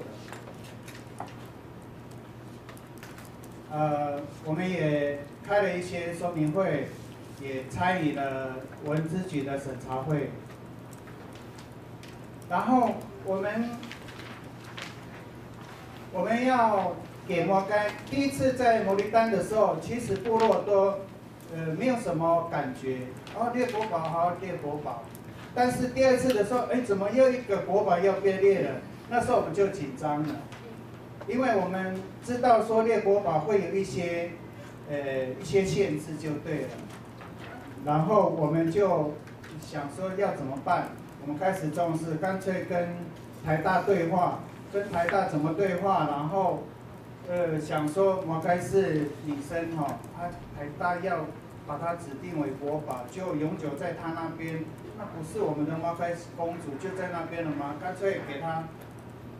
嫁给嫁给他，请他林明熙，我们台湾组哈，就是说，如果你要我们的人，你要林明熙，你要弄一些聘礼过来，所以我们于是办了这场的婚礼哦。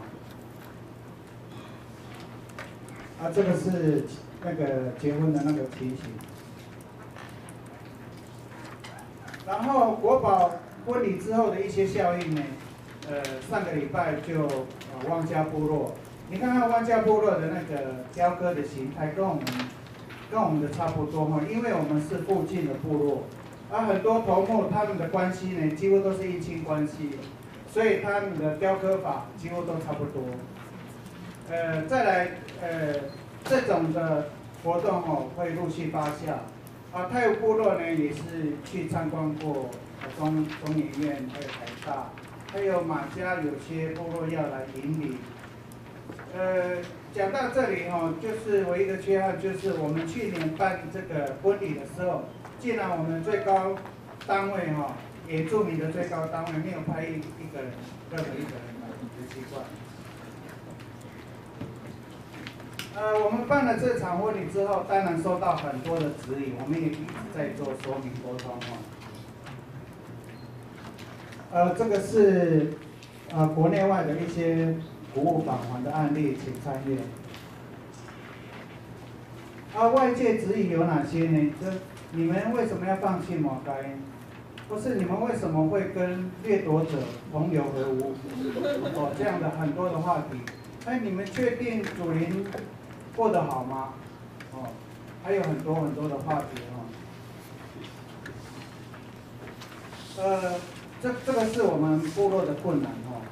呃，时空的限制，因为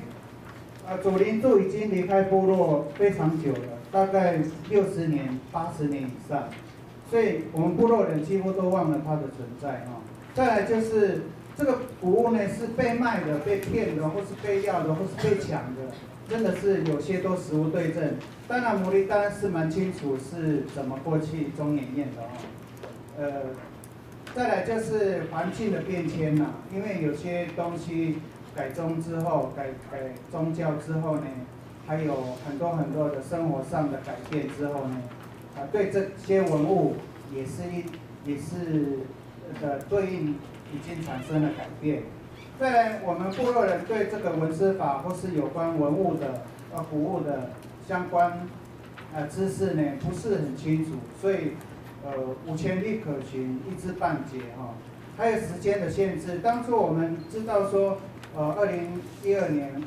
我们古物要被列国宝的时候，其实那个时间蛮短的，呃，一箭在弦上，我们没有很多的时间去讨论这个区块。然后，当然国家的呃法令的框架下，呃有很多的限制。再来，我们的最重要的就是啊管理。如果说哦博物馆真的你们要把东西拿给我们的话，我们还真的不知道要把东西拿到哪里。哦，呃，再来就是林祖林的问题哦，因为我们在三十六年改装之后呢，我们的林美几乎都消失了。啊，我们也不晓得说我们祖林住里面林美还是在在不在，但是很多呃台东的也好，还有其他部落的有些人哦，他们都感应到说你们的祖灵在哭什么之类的哈，我们也是呃很怀疑，我们我们部落人也一直在想说，我们到底要不要正视这个问题啊？还有很多其他的问题，呃。这个是我们最近跟博物馆的新关系哈，这也算是一桩喜事哦，难得收藏单位呃提出申请，然后被指定国宝，呃，再来呢就是呃被保存的那么完好也是感谢啦，因为没有被被没有被收藏的几乎都已经腐坏掉了或是遗失了。呃，再来就是一定一进展览也算是知名度的延伸吧，这这个也是我们 自我安慰了哈。呃，再来就是呃合作关系，当然以后我们也希望说部落跟学校有什么样的一些合作关系，不管是记忆，不管是学术研讨，或是很多很多的方面，因为毕竟我们两家都变亲家了嘛。呃，再来，我们办这个国宝主题柱的心情呢，真的是非常无奈，也不晓得该怎么办。呃，所以我们部落会议呢，大部分决定说，好吧，那我们就办一场婚礼，啊，达到双赢哦，啊，不要跟以前一样，我们都是用抗争的方式，其实会双败了。再来就是重新找回文化的认同。呃，这场婚礼呢，真的是用高规格的，而且非常传统的，重新学习很多很多文化的东西哈。呃，再来就是跟台大结尾亲家也不错。呃，还有一个单书了哈，如果说真的，呃，透过林美说，呃，那个台大虐待他，或是什么之类的，我们可能我们会办离婚了。呃，最重点就是我们很希望、很希望说哈，呃，东西从哪里来，你就要还是要还是要给他回去了啊，这是我们很希望的。呃，最后呃有一个问题就是说，嗯，博物馆的态度，你们认为你你们是愿意服务返还吗？我们想听听你们的说法。啊，以上是我的分享，谢谢。好，谢谢。东西哪里来，就要回到哪里去。我们下一场，本来应该给大家一些问题答问答的啦。你们其实在座这么多人，其实都多看来跟你值得来来来来来看。但是时间已经过了，那么我们要不是等到下一场要完整的时候，多的时间让大家一起来发问吧。那我们非常感谢大家。欢迎各位回来，我们今天的最后一场哈，我们的综合讨论。前面两场我们有不同的主题哈，那大家也都是，呃，我我认为是非常丰富的带出来了不同的角度哈。那我们这一场有三位讲者，我们就由呃呃圆明会的副主委汪明辉老师先开始。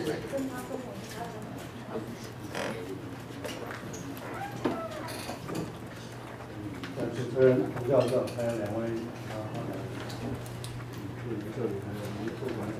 各位在座的啊贵宾，啊各位女士先生，大家午安。啊不对，这个是罗马先生。嗯，那呃今天呢，非常的高兴啊，呃能够参加这一个很特别的一个啊这个研讨会，因为啊对我们研究来讲，这是一个。啊非常重要的意义啊，因为我刚啊这个听了听了很多人的很多的啊这些啊非常啊就从各种不同的角度来讨论这个原住民的博物馆啊。那因为我们现在研究院呢正在呃在进行啊这个国家国立原住民博物馆的这个筹建的工作啊，我们现在正在做一个馆址的选址啊的一个一个过程。那一共有八个县市在争取，那么我们已经看了五个，那我们未来这几个月还会看，那希望在年底能够选定一个博物馆，啊，最后要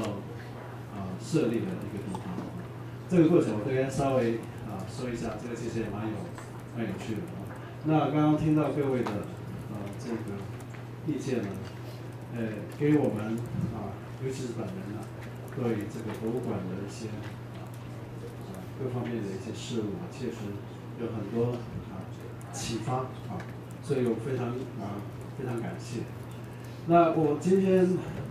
大概就谈这个国家博物馆啊，我自己的想象，我本身呃并不是专业啊，是一个外行，但是呢呃因为现在换了这样的一个位置，刚好这个是。我督导的这个业务啊，所以我必须也要呃稍微学习学习啊，成长成长。那刚刚听了，我也在行说，我今天要等于是我今天做一个一一些啊刚刚发言的一些回应，所以呃不是事先就想好的我要讲什么，其实是在刚才的这个发言当中，我发展说我今天要。报告之类，所以我的题目大概就是国家国家级博物馆原住民博物馆的一个想象。后面一个副标题呢，就是一种解殖民博物馆的新取径。那刚刚我听到这个布隆祖拉莫啊，这个初次见面啊，很高兴听到你的一些论述。当他讲这个地方馆。我们现在的二十九个文物馆，我们有大馆带小馆的一个啊一个这样的一个概念。那现在呢，这些地方文物馆呢，因为它既然是一个国家所辅导的文物馆，它就越被要求说要用博物馆的专业来这个经营。这个专业呢，就会依附到我们背后的一些啊这个学术啊，这比如说我们民族学和人类学。那这个民族跟人类学大概是我们原住民啊，呃，在过去以来是最密切相关的。那尤其在博物馆的这个部分，那么，呃，就是我们这些文物馆的这些工作者，包含研究原住民本身啊，也被要求说要学习一些民族学和人类学的这些知识啊，那。他刚刚在口头报告的时候并没有说，可是我注意到他的文字上，我不知道各位有没有注意，这样的一个过程等于是依附在殖民体系它的这个收藏体系，对不对？啊，我不知道你是刻意不想要讲出来还是怎样，因为这个对于呃这个可能会破坏两个原住民跟学术界之间的关系啊。不过这是一个真实啊，呃，我我想我们面对真相的时候，我们才可以。调和，呃，我们这样像流行调节啊，啊，这个和解啊，真相与和解啊，那才有可能未来的更好关系的发展。那 我想从这个部分呢，我要再讲下去，就是说，这种殖民关系啊，这种殖民关系啊，它其实如果再降下去的话，这二十九个博物馆或者更少的这些地方，我私人的收藏也都会是复制一些。过去的殖民的收藏的这个模式，那在这样的一个一个体系之下呢，这些物物件或物品被标本啊，或者 objective 啊，就是物化啊，物化。那么，呃，它是用各种方式啊，因为假借研究这个所谓的殖民研究啊，那么去要的。买来、借来、骗来，啊，好这个合起来叫英英文叫 exploited，就是等于是通过研究然后采取，截取是好听，那就是剥夺是是不好听啊。然后，呃，它是一个从一个原来它有一个地方民族部落的这个既有的社会文化脉络里面抽离出去，看见没有？啊，fragmented 就是一个被割割离，decontextualize 啊，就是抽离脉络，片段化，片段化，它不是一个完整，它是从一个完整的一个体系里面把它抽离放在这个新的环境里面，它这是一个原来完整体系里面的一个 piece，所以它是一个标本化物件，然后被包在一个塑胶袋，刚刚那个啊我们的研究所呢啊这个。所讲的一样，那这些这些东西啊，被收藏了之后呢，原住民却没有因为原住民的研究呢，会越来越文化越来越发展，反而呢文化越来越消失。所以这个你看到一个研究，所谓殖民研究是你研究越来越越强，累积越来越多，可是我们的文化越来越。我们的语言，光是从语言就知道，然后我们传统的饮食，还有我们的传统的这个呃工艺的制作，它的技术、它的知识，却越来越失落。这是什么？这是什么样的研究？它并不是我们要的研究，跟实际上发生的是这样，不止台湾如此，全世界都发出这样的一个抱怨。所以，呃，它并没有一个正向的关系，而是反而是负向的关系，负向关系。好，我们也不能单纯抱怨，因为。它确实保存了这些东西，所以接下来呢，我们可能是怎么样啊？呃，另外就是说，除了物件以外，随着研究，因为我讲物件是因为研究是主体，这些东西是一种研究的附件，它可能是后面的附录，有照片、有文物，放在那个研究的报告后面，它是一个附件而已，而不是。可是呢，这个物件呢累积多了，不管在台湾、在日本或在其其他地方。它就变成哎，用来可以证明他的研究啊，他确实有有所本。可是我现在讲是刚刚讲的抽离脉络，不仅是物件的本身的抽离脉络，我们连诠释上，在解释上也是啊，它是用既有的学术的传统，它这这学传统啊，可能呢也是给予世界另外的这个地方的一个研究上所累积过来的。然后呢，用来诠诠释这个物品，所以出来的这个论述，它也是种，呃，他要去解释这个台湾或者是周族或者是道农族的来族，他并没有进入到那个那个族群的语汇的脉络里面去理解这个。虽然他有观察，可是他欠缺那个语汇的能力，所以呢，他的论述解释这个文物全部都是翻译的论述，啊，这个是我要讲。这个翻译的论述呢，挪用了非常多的西方或非非呃族群的这个这个东西，所以它对不对？啊，说的正确不正确？其实原住民呢，其实也因为被抽离了，他已经好像被呃他的权利被剥夺了，他已经没有权利了。你要来看啊，你要申请，你要你要进入到一个像衙门一样的一个一个一个门口，甚至你要买票进去看你你的祖先。的东西啊，所以呃，甚至反过来，这些论述还去指导你，呃，这个是这个是什么？这是台湾指的什么？我们应该怎么样解读？怎么样去解读？因为我们已经没有没有那个能力去去解读我们自己祖先的这个东西，所以好，反过来他要指导你。所以我说，即使是如此，我们抱怨归抱怨，但是呢，这些东西确实是原住民，而且。我们至少还有一些主人还会认识，啊，并没有啊完全消失。所以我觉得文物的访问在今天的这个这个座谈里面呢，变得呃，我们可以有另外一种比较积极的啊想法，就是当我们越研究，越这边主流社会越保存，而我们族群或者部落的文化越来越失落，甚至濒临灭亡。文化的灭绝 （cultural genocide） 的这样的一个处境，但是呢，我们还是可以借由返还的文物，让它回到部落，让原住民呢重新没有可以自由的去接近的时候呢，可以产生新的一种活化的连接，或者是有机的连接。从这个角度来思考的话，我觉得是可能。刚刚林馆长啊啊，不要说整个族群的文化连接，他看到自己的祖先的这个东西啊，就抱着痛哭啊，像这样，这个就是一个非常有机的啊一个一个啊一种作用啊在发生。那我想整个族群也是，那呃还有很多了啊，这个这种文物不只是一些物件啊，甚至是一些翻译的书，我们已经很熟悉。台湾番薯调查报告书这些东西，那么那些很多照片，还有很多的一些片假名，他拼我们族语。当我们有机会把它翻译的时候，我们才一方面学习，我们一方面去修正它的错误，啊，这是一种很好的一个一个一个过程，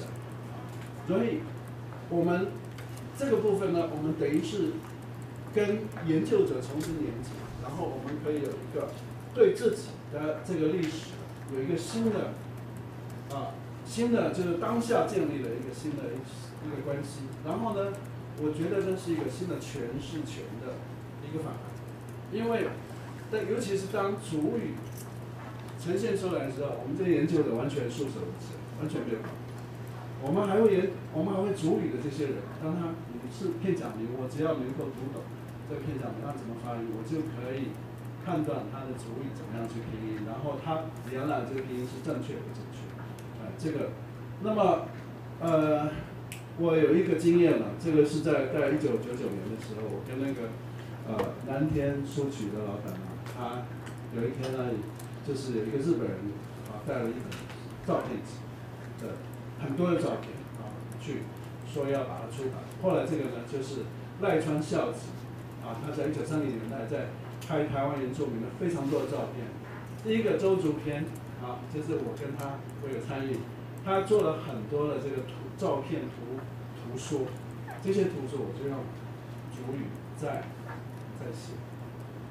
我只能说 Thank God，我嗨，我是原住民啊，我还可以写主语。那么最重要就是我透过这个照片，不但我可以翻回主语，而且呢，我可以重新认识，因为它照的是各种各样的。有文物，还有人物，还有植物，比如说地瓜，还有小米，很很多种地瓜。我们现在已经不大知道那个地瓜，我们原来知道可能有好几个分类，可是在它照片里面呢，我们重新把它写出来。所以这个呃这个东西啊，它是我们讲这种殖民的保存，它还是有它功用。这个功用只有到回到我这里来的时候，才真正是有作用，也才真正有意义。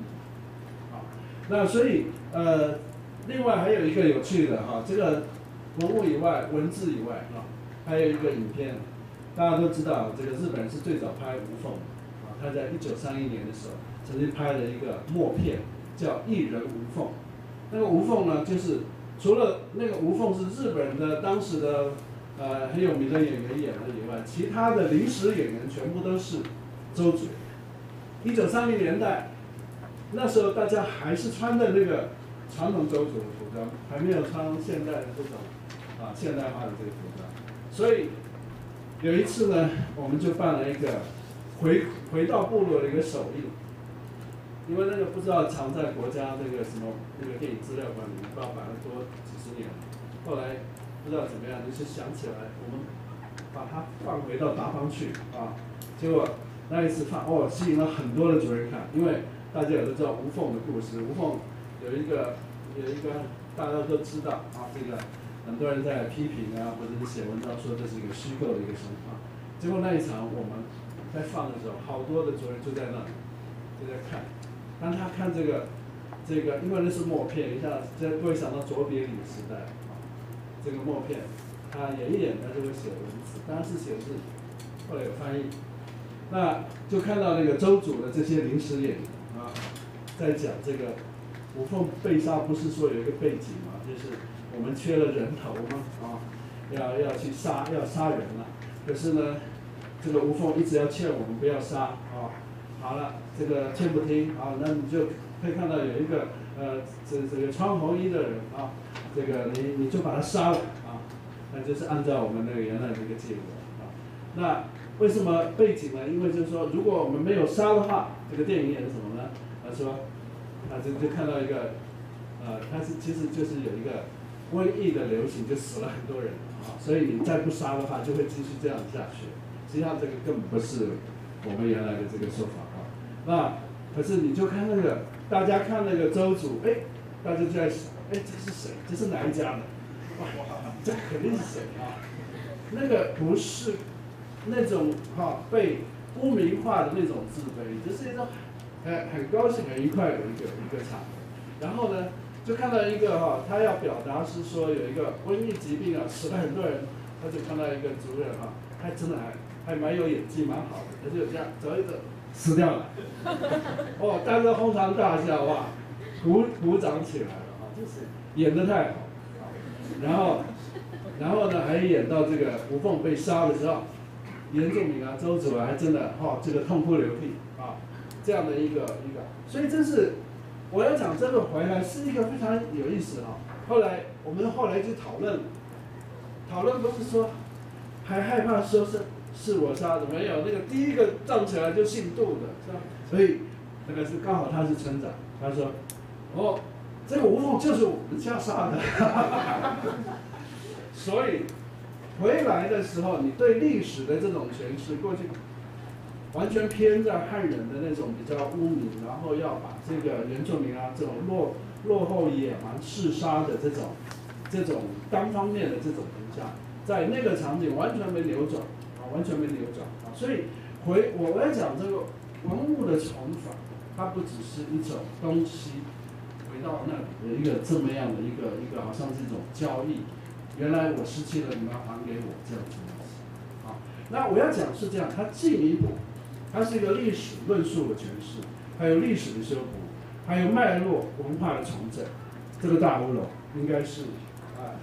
很有很有感才对。就是这些东西，它回去重新摆放在它应有的脉络。我要讲应有的脉络，我要讲一下。我们以周主这边有王双王教授，跟曾经跟那个关华山教授，我们曾经主持过要建的一个周主人文自然博物馆的一个经验。我们其实谈的是，就是如何要去重建周主，就是周主的这些空间或者是聚落体系本身就是一种文物的物件的体系，就是我们人类学或者民族学有兴趣的那些文物，它不时就是拿我们的这些工具啊，从不同的空间，比如说。工作小屋，或者是家屋，或者是祭屋，或者是会所，或者是那个放兽骨的，啊，这些都在刚刚讲的那个赖庄孝子的照片里面全部都有。在我们部落里面，这些都依稀都还存在，我们的马雅什都还存在。那我们在空不同的空间，我们做不同的活动，生产活动或者仪式的活动，然后我们就会放很多的相关的所需要的器具工具。以前还有。头颅放在那个男子会所的那个受骨架，哎，这个受骨架，哎，曾经还有一个故事说，这个一个日本的研究啊，还想尽办法混到这个，在这个部落在那个会所里面呢，他睡跟这个装朋友，然后睡在里面，然后呢，他其实目标是什么？他想要偷那个头颅，后来真的是偷到了，可是呢，最后被宗主发现，被宗主发现，所以他。这些被 exploit 的东西啊，就是被被被拿的东西啊，可以说是从人的形象啊，透过照相，还有各种工具、各种文物，还有服饰，还包含刚刚讲的，连这个林爽文事件送给我们的这些朝服，也有可能会去寄这个东西。所以这些东西，它其实都在我们原来的这些啊，这个部落或者是建筑的体系，它有一个适当的空间，然后而且不断的在制作。这个制作还不断的供我们生活所用，这就是一个活的。所以当然我们在做这个周主的自然人文博物馆的时候，其实我们是呃有这样的一个意识，我们还结合了一个，我觉得今天重访的时候，刚刚讲大致讲了一个，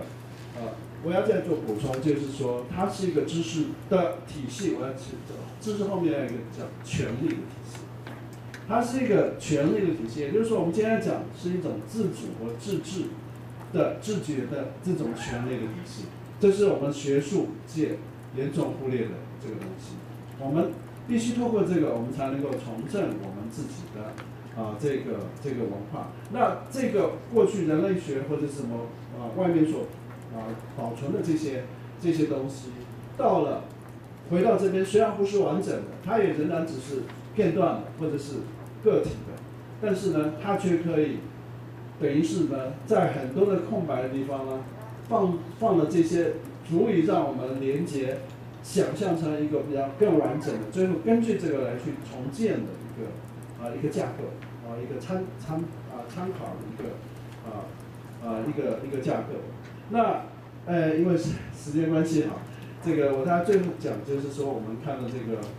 呃博物馆啊，我我今天不是说我们最后要选那个，而且也不是我我个人可以去决定的，我只是想说我们今天对原住民国国家博物馆的这个想象其实非常的多元啊。在马政府时代就已经决定说要设在这个新北市了，到了这个换这个执政人轮替的时候呢，就就把这个是推翻了。所以第一个就是这个博物馆呢，其实是在不落于这个我们当代的这个权力政治的这个结构的啊这个啊基督教的这样的一个一个环境里面。所以呃在马政府啊，因为他执政呢，那只有新北市是他的这个。党籍的这个市长，所以呢，当然就落在那了啊。那可是民进党执政呢，他就要把这个推翻啊，所以呢，就有很多的新的申请者啊。那特别是像桃园啊，桃园，那不管是桃园或者是新北市呢，离不开是首都或者是都会这种要供要有人潮，然后有更多的人去观赏的这样的一个想象。那么到桃园这边呢，它更进一步要连接到全球，因为这个机场就在那里。但是呢，我们还还是可以看到，它想要放在航空城，航空城它其实有一点，呃，被批评了，那那个就是一个草地皮，所以这个草地皮也把那个博物馆放进来呢，可以让这个地皮啊的价值更高啊。相对来讲，原住民的这个博物馆也可能会。呃，有更多的人来看，所以它其实站在这样的一个全球化、现代都会化的一个资本主义体系下的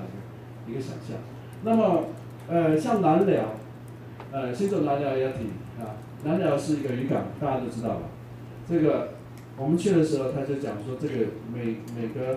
呃假日的时候，有多少的这个游客来这边啊？结果我们去的时候，刚好那个宝可梦正在流行，一堆人怎么会这么一个？拿个拿那个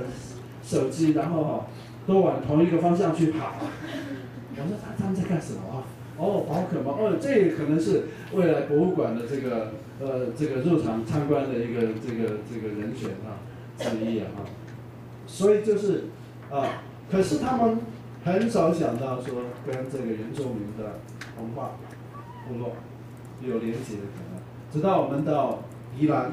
还有花莲的时候，就就想到。到宜兰的时候，他们提供的地方是南澳，啊南澳，结果呢，这个南澳是一个非常偏僻，然后交通不是很方便的地方，啊，它是，呃，这个靠近部落，可是它有它的局限，所以这个给了我们一个冲击。如果说不在都会，放在那样子的地方的时候，你如何去经营？它根本没有什么游游客会进来，啊，然后到到花莲的时候呢，花莲呢，呃，副县长是一个非常积极争取资源的一个县长。他已经争取了上海剧场，然后要争呃，还争取一个呃一个风雨风雨剧场，就是跟阿美族啊，然后呢，现在又要博物馆，他们本身还有一个著名的博物馆在那边，他们提供的地方呢是在博物馆的旁边，可是我们后来发现呢，这些资源有很多的重复，而且文物馆呢，我们就在文物馆在讨论这个事情，文物馆在一年当中没有用到几次。然后他要在旁边弄一个博物馆，这博物馆地方很小，那呃，所以呃，我我在之前有去参加过他们联合丰年祭部落联合丰年祭开幕典礼，我就看到见识到了副县长他的真正的想象，就是他结合观光啊，甚至他也跑去呃对岸那边啊，说以后到了观光客要跑到蓝色的这个县市去，那其中一个就是花莲，所以。他想象的这个博物馆是架构在这样的一个啊一个观光的发展，观光的发展，几乎没有没有人会提到说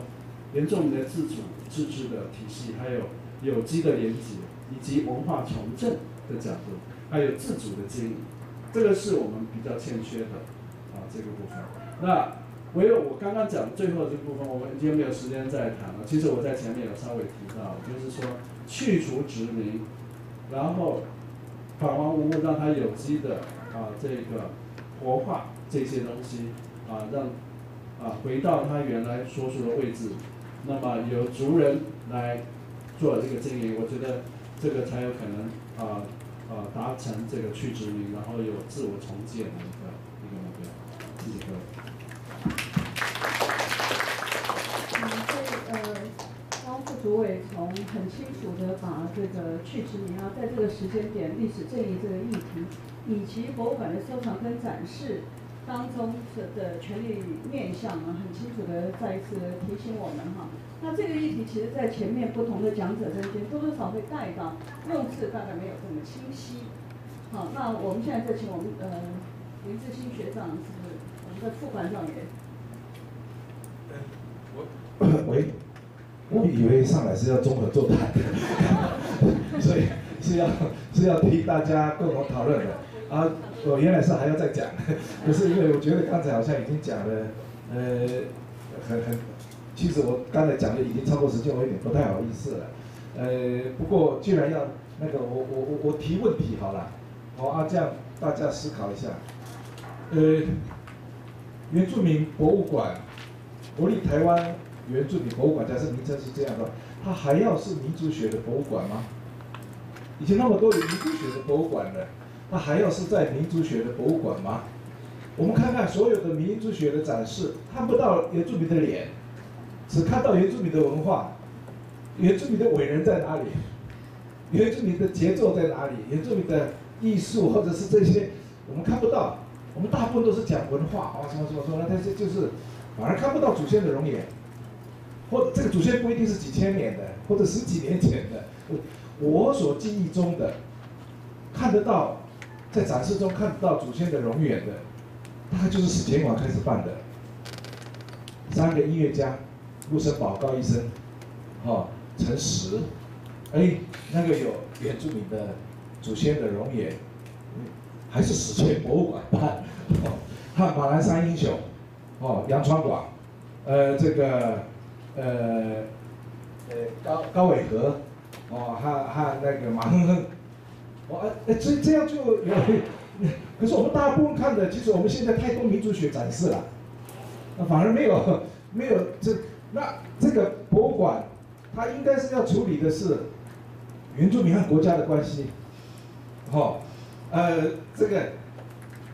呃，可能会是它的它的重点。那这边就回到第二个想要问大家的问题，呃，国立国立台湾原住民博物馆成立以后，它是国家的还是原住民的？好，啊这个这个，呃，大家可能要好好想一下，它怎么样子？就它是国立的嘛，可是它怎么样子是才是原住民的？可能这个是第二个我们要思考的问题。好，那现在那么多的民族学的博物馆，然后这个哎。那怎么样子？呃，它这个民族学博，呃，国立台湾原住民博物馆出来以后，它的定位和那个要要在哪里？那可能不是只有国立台湾原住民博物馆可以把自己的容颜展现出来，它可能要透过 连线，哈，跟其他博物馆之间的连线，不仅是国内的，还是国际的，呃，连线，呃，某种程度的共管，才有可能达到活化。的这个这个目的哈，那我很担心，我们现在这个话题，我们今天谈的是文物，可是我们现在谈的是国立，突然话题变得是那个台湾研究，哎，国立台湾研究博物馆，我们的焦点会一直在文物，可是原住民除了文物以外，可能这个博物馆要处理的无无无形文化可能还更多，有形文化之外，可能无形文化的这个呃东西可能更多。比如说，我们是不是有大量的流流传在部落里面的手稿，哦，呃，日记，呃，或者拍的影片，或者是这些影像，或者是呃各个不同的部落，所以我觉得，呃，这个刚才因为副主委把这个话题带到这个国国立台湾原住民呃博物馆，呃，好吧，我们就从这里开始，然后听听看大家的的的这个意见哈啊，我就不再多说了，因为刚才已经说很多了。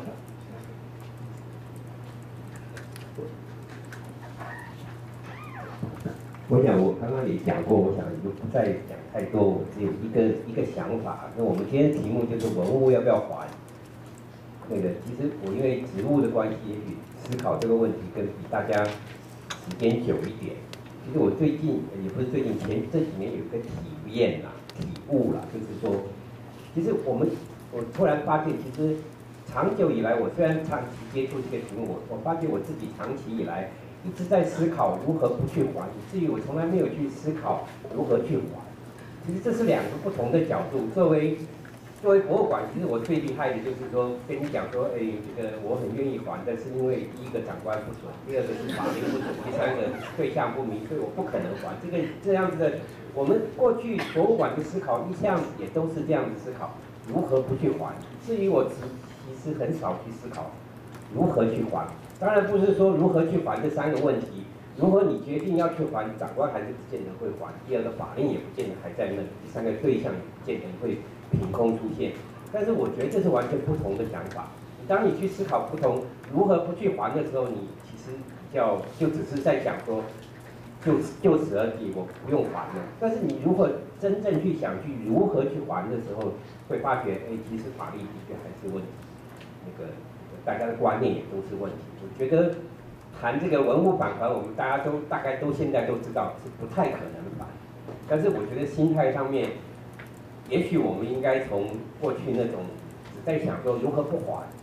而改变去想说如何去还，也许会更正面一点。也许我们日后的路会更走得更顺畅一点。谢谢。我们今天谈到的一些，不管是说我们主要讲是从博物馆来谈啊，那博物馆的确它的典藏基本上是物，那也有老照片，也有一些呃影片啊这一些东西，啊也有一些手稿，嗯比例每个地方不见得相同哈。那这些误会牵会牵扯到我们从孙玉琪老师讲的例子里面，我们可以看到，它后面或者是海关的工作方式。你要活化这些东西是最重要的目的，所以它牵扯到的一些是技术问题，啊，你怎么做这个事情？那这些技术问题也牵扯到为什么要做这些事情？做这事情背后的思维是什么？这个美感、经验、美感的判断是什么？所以一定要谈到说，那个文化传承这些抽象的，所以有形的东西，一旦它后面还是会有无形的东西。那当然有些像记忆方，记忆方面也是会有一些物，它的。它要用，它要经过一些物来完成某一些事情，那所有这些物后面都会牵涉到，它跟这些无形的这，它的整个才是一套东西。所以我觉得，呃，也许技术上我们现在不必太执着在物或者是有形或者无形上面来讲，我们的重点讲是原住民的文化传承，博物馆可以该扮演什么角色，而文物返还文博物馆的文物返还可以扮演一个什么更积极的角色。那我们当然会有这个议题，是因为是在权力不均等之下，不管是强夺或怎么样之下来进入这个成为博物馆的收藏。那我们现在是一个不同的时代，我们大家现在越来越有这样子，比较会考虑到像子明老师说的，我们如果换一个眼光的说，我们根本看我们还到来怎么做这个事情，我们会有很多不同的考虑。那这是为什么我们今天会有这样一个会？那大家讲的都都考虑到非常多哈，那我觉得我们现在我们现在就开放，不管是回应前面或者大家有一些议题觉得没有被照顾到，也是呃可以带出来。那我也希望大家不要气求今天达到得到一个标准答案，今天只是开始讨论。那我知道十一月十千块也会有哈，陆陆续一定大家势必要。会有更多的讨论，让这个事情做的是比较细致的，而不是一场精神暴力取代另一场精神暴力。那我好，我们先来看，还有下面还有，我们多收集几个问题哈。好，那还有，好，那就就 OK 三位哈，那陈陈老师你这边先开始，同学麻烦麦克风一下。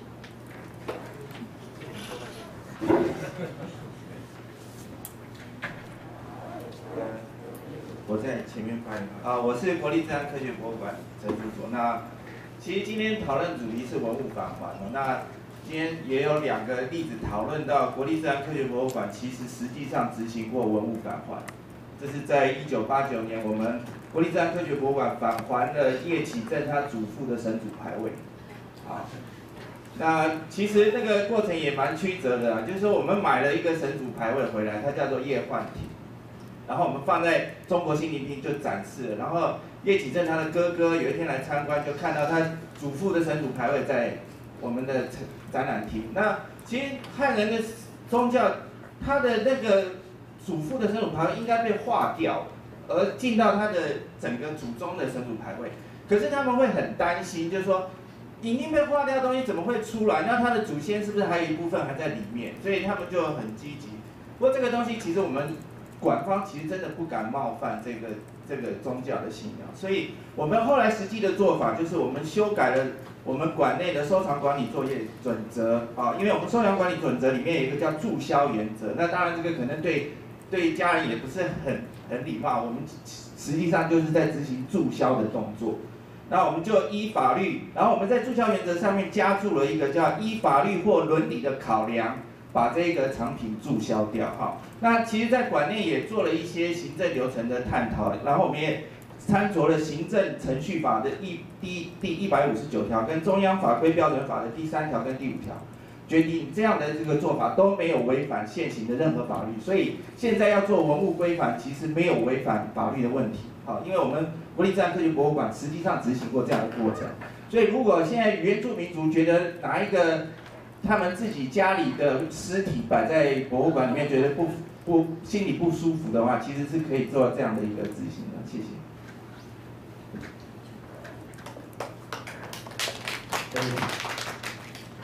我想大家现在大概都有这个共识啊，说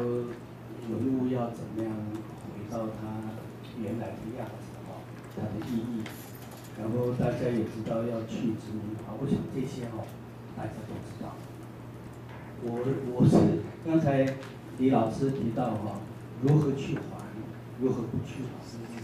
这是从博物馆跟啊比较是学者的角度去思考。觉得是应该好好想啊，但是我因为是原住民的关系，我的问题也要问我们自己同胞，我们怎么接？这这个东西哦，大家都知道要还要接，这个都不重要，可以说观念上的事情哦，大家讲一讲以后立场一讲清楚，就就会弄得很清楚。可是问题是怎么做，这个才是要紧。所以这个哦，我是觉得将来。已经有相当多的一些实证的经验，大家也都在做，应该在这样的基础上面慢慢去累积。无论是博物馆面，或者是原住民的部分，我们原住民的部分也不能说我通通都要。你放到你你以为原住民的部落脉络还在吗？这个是有时候是我们知识分子想的。回去以后，部落里边都可能引发的问题相当相当的多。所以这些大家都要一起准备。我是觉得像，这是我第一个，我想大家应该两边，这个台湾的社会已经进步到一定程度了，那种非常简单的去殖民啊，或者是这些，都是观念上一一想就通了，这个不必再讲。现在是问题怎么做的问题，这是我第一个呃想想的。第二个哦，就是因为副主委提到了关于那个选。繁殖啊这一类的问题啊，你们也看了一些地方，我是有点好奇了啊。呃，在选管子的时候，这组成的人是？然后第二个还是要，我还是很想听到，因为我们只会知道说，呃，这个指呃这个提出来的那里有问题，这里有问题。我们自己原民会，从我们原住民的角度，我们的原则是什么？我们一直讲说这个要要去殖民，然后要在一个跟原住民的文化脉络相合的地方，这观念上很好讲，但是在哪里？有没有一个想法？因为讲观念很简单，但是在落的时候就会有困难。所以我我总的一句话就是说，无论是返还文物，或者是将来我们原住民在博物馆这个地方所要做的工作。概念上的东西不是最重要的，而是在这个概念的指导底下，我们让这个事情能够做得很好。这个脉络回来以后，是真的让原住民每一个人、每一个部落，我们的文化都都都回来。这个都不是一句话就就就可以讲。所以，因为今天大家都是高层的哈，所以我非常希望听到的是那个实际哦，我们的想法是什么，而不是概念啊。我们再多收集几个问题，再呃再看。有的是有直接回应啊，来 呃云博哈这边，然后还有没有其他的？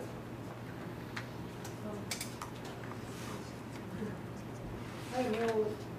还有没有人想要提出问题？好，OK，好。那那我就先，嗯，大家好，我是原住民法学研究室的专业助理。那我往上走，这样吗？还是没有？这个方向。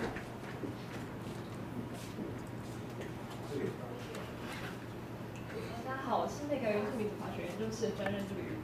那我本身是阿美族，我族名是米嘎的。那我想要稍微回应一下刚刚那个课长有提到关于降族部落跟台大人类系就是结婚的这件事情。那我们大家有注意到之前就是台大人类系也和另一个台湾族部落，嗯，台湾族的家长，嗯，结拜的关系。那因为我本身是法律出身，所以其实有时候会有点好奇，说那这个结拜关系，它其实是放在现今法律。的脉络之下，它会是一个怎样的关系？还是实际上我们不能用法律去诠释它，我们应该是用另一种方式去想它？那另外就是说，我们刚刚有看到家庭部落，它是跟部落结婚，那这个案子它却又是跟家族，所以其实就会有点好奇，说人类系是怎么选择去结拜的对象？到底是要跟家族结拜，还是跟部落结拜？这可能是一个主体性上的问题，大家谢谢。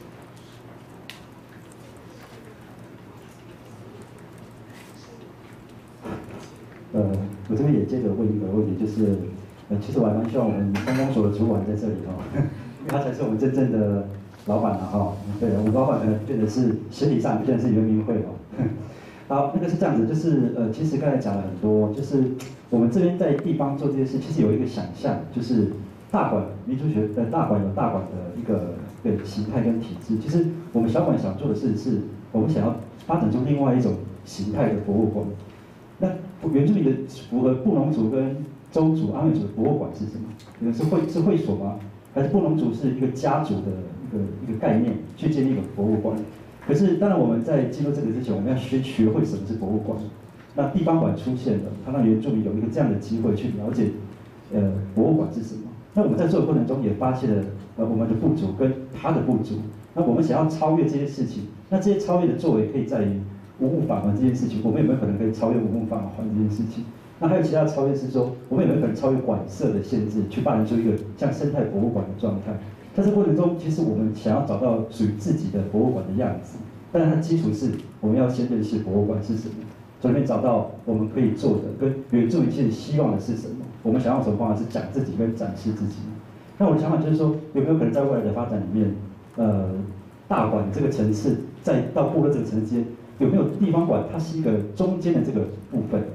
这个中间去引导呃彼此的对话，用找到自己的方式。大馆可能有自己的方式，他没办法很快的跟部落结合。可是地方馆落在部落里面，他们有一种了解地方的一种累积下来的一种呃那种默契吧，或是一种感觉、一种同理感。那他们可以带着这种声音去跟大博物馆对话。有没有可能这些重要的议题？在这些中间的这一层小馆、内博物馆或地方馆里面，可以产生一个很好的结合，不然就常会有一个状况，就是我们做我们的，你们做你们的，那真的发生的时候来不及了，要结婚了啊，要结婚，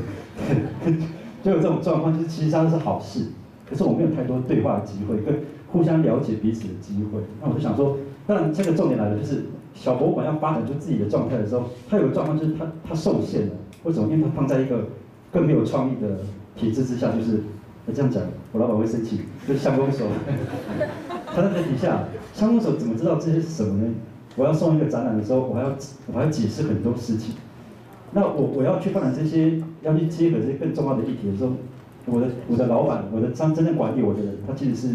不在这个状况里面的。他没有不对了哈，因为他的养成是这样，那我们养成是这样。我们两种文化之间又没有彼此有太多了解彼此的机会，所以我们地方馆在在做的事情，最辛苦的不是跟大馆返乡，呃，五户返乡，不是最辛苦的不是跟喜庆馆发展出文物怎么整治，最辛苦的是我们去面怎么去面对这个结构问题的。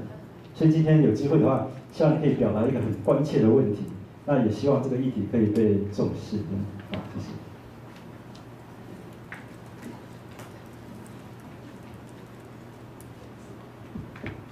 还有没有问题？啊，因为还有没有？好，那我们就。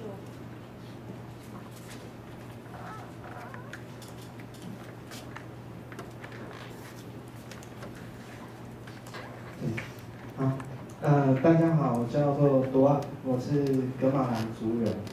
那我今天其实有一个部分是很想要，就是提出来让大家去想，或者是也许等一下有可以讨论的地方，就是其实延续刚刚孙大川孙老师的话，只是就是因为我们今天的主题是在讨论文物，呃，返还的问题。那其实比较少听到是从原住民族人这个地方去看。为什么会有返还这件事情？然后，呃，还有一个很重要的一个关键的地方是，这个返还的机制是是怎么怎么开启的？就是，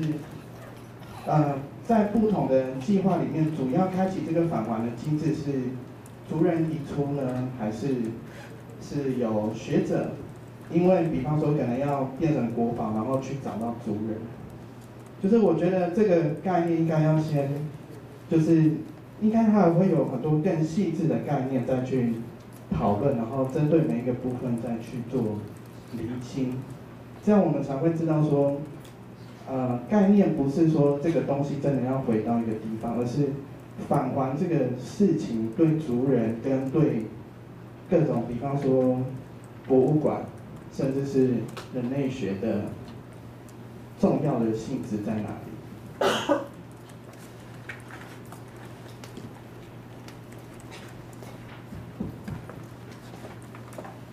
我们的呃，我想我们就开始回应这一些哈。那是不是在座的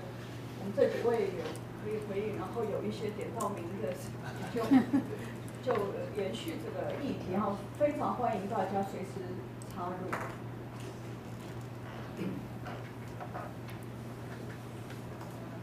喂呃，谢谢刚才嗯副院长的这个指教。嗯，其实呃副院长当过主委，这个呃，我不知道在您任内是不是就已经发展到这个国国家博物馆、国家主博物馆？对。那我确实发现了这个经过前后的不同的政权，它在。很多的一些知识概念上其实有很大的落差。呃，您说这个去殖民是一个流行词啊，可能站在这个角度上是是简单，可是对长期被殖民的原住民，他已经把这个当成是正常的事了，去殖民是非常的复杂，是我不认为那是简单，他已经习惯殖民用，所以呃，当我们讲去殖民，不是讲要解殖对。别人，而是某种程度内是内在已经被殖民体系系统，我常已经已经灌爆灌爆了啊！我常说嘛，原住民这个身体是一个硬体，给它一开机，就是中文作业系统这样子，这样的一个一桩体啊。我再也做不到阿美族裔系统，您刚刚讲没有错，它已经不再是原来部落的嘛。这就是殖民的结果。可是你不能因为是这样，所以就不要去去去殖民，或者是说现状主义，我接受现状，然后就这样子。那其实这是这就是一个思想或或或或这种这种知识工程里面困难，或者是为什么需要读书人。那嗯。人反而是简单，但是这确实是一个存在的事实。那我们以新政府他想要做的啊，这个建构教育体系也好，发展原住民这个教育体系，它其实就是一种七殖民。七殖民它同时有一个建构，啊，双重性，去除跟原来的殖民的这个这个状态，然后其实你要重建，重建它去殖民本身，还不是重建，重建就是站在原来的脉络，我把失去的，包含一些文物，我这里没有，我要回来。要回来不见得就是我要要到放在我的家，也许，但是呢，我们可能有个中继站，我我我我很赞同。刚刚讲，这地方馆啊，地方馆它更接近我。那如果这个地方馆是族人所经营，那更是，啊，那就因为这些东西需要有一些管理，需要保存。啊，但是呢，它因为它更接近这个部落，所以呢，他更觉得说这个部落拥有这些文化，而不是不再是。都会所所拥有，所以呃，我刚刚讲的一个教育体系的建构，另外就是国家呃国立博物馆不是单纯的一个博物馆建了之后就完了，其实会连接到现在的二十九馆大馆带小馆的这样一个体系，它会建建的建构一个原住民的文物馆博物馆的这个国家的整个体系化的一个建构，所以呃。原住民有各族，它也有联合的放原住民的概念。各族有中心的部落，也有这个周边的这个啊，这个呃，我们讲这个卫星卫星的部落。那我们其实是某种程度是复制或模拟原来的这个部落的形。刚刚讲这个啊，王教授还有关教授我们所做的，其实是模拟我们周族的这个聚落的结构，它有一个中心的部分。然后，它怎么样连接到啊这个小小的这个部落啊？然后架构一个新的，我们知道是新的，因为博物馆本来我们没有博物馆，博物馆就是现代的现代的东西，我们只要把原住民族化啊。所以呢，原住民族化呢，就是呃虽然它是新的，是是一个新的概念，但是呢，我们却要架构在新原有的这个聚落的啊结构。一下，可是做一些两者都有一些调整啊。那比如说我以周总的博物馆来说，那我们那时候想的是，呃，也许大家对对我们阿里山可能不是很了解，稍微解释一下。原来的乡公所是在打，后来呢，因为大家觉得到里面呢交通太远不方便，我们就把应该把它迁出来。然后呢，为什么迁出来？因为很多人就是。好像其实有很多很大力量是里面的这些公务员，对啊，我们公务员就这样啊，嗯公务员想要靠近最后我们的部落那个乐园啊，放在那里呢，下了家业一个小时就好，我去买，我去买在购物，我上一天之内就可以来回，很多都是为了这个这些方便嘛。其实，好，我们就顺这个沿，啊，因为很多乡公所，乡公所把很多外面的政治啊，一些我们喜欢或不喜欢的东西把它带来。那今天呢？原来这个达邦是我们特匪跟达邦那个传统的文化，古巴就在所所在。可是长期以来，香港所在那边有一点污染，有一点污染。他离开了，我们就把还原变成一个 pure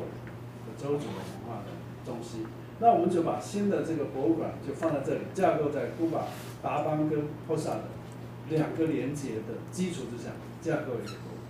而且呢，我们加了一个政治。政治的权力的形象，但是我们还没有被裂解啊，就是呃，刚刚的五沙路啊，都还在我们的想象当中啊，那个啊，布还在那里啊，我我们那个时候三三个席位，三个席位，南州啊应该是不止，这是北周的大邦特富也，刚刚的五沙路啊，我们五个席位都已经安排好了，就在里面，然后旁边有文物或者各种各样的一些展示。然后呢，这个呢，它就会变成真正的文化，呃，发展，还有教育，还有知识体系重建的一个中心。乡公所乐园那个地方是商业观光的，前台一个是后台，OK，是这样的一个概念。所以，呃，我我觉得我们该怎么做？是某种程度，阿莫他有提到，他其实现在的一个二十九馆的一个体系。我们再加一个整个国家体系，然后呢，这个结合到我们各族还有我们各族的部落体系里面，然后教育知识的啊知识的这个建构，教育体系的结合，然后原住民部落。我觉得这个，我觉得想起来，呃，不知道你们觉得容易吗？我是觉得很容易，但是呢，呃，如果你不这样想的话，就就会没有方向，会会，呃，呃，大概是我的回答，不知道能不能回答这个副院长。我可以想象那个孙副院长的提问，包括我们这边有一位呃，或者说王老师刚才讲的时候，又讲的像 Moko 毛利人的有文文面的这个头颅带进啊，回从外国拿回来之后，其实他们对他们而言，他无很难判断说这是我的祖先的，我的友人的，还是我的敌人的，还是我的奴隶的，所以呃是有有的事情不是那么好处理，或我也完全没有，我们必须要有方向。好，那好像呃副馆长要回应。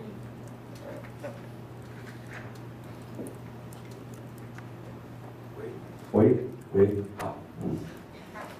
我有一点觉得我们规划想象太多，啊，整理研究太少。呃，史前馆因为很少周主的东西，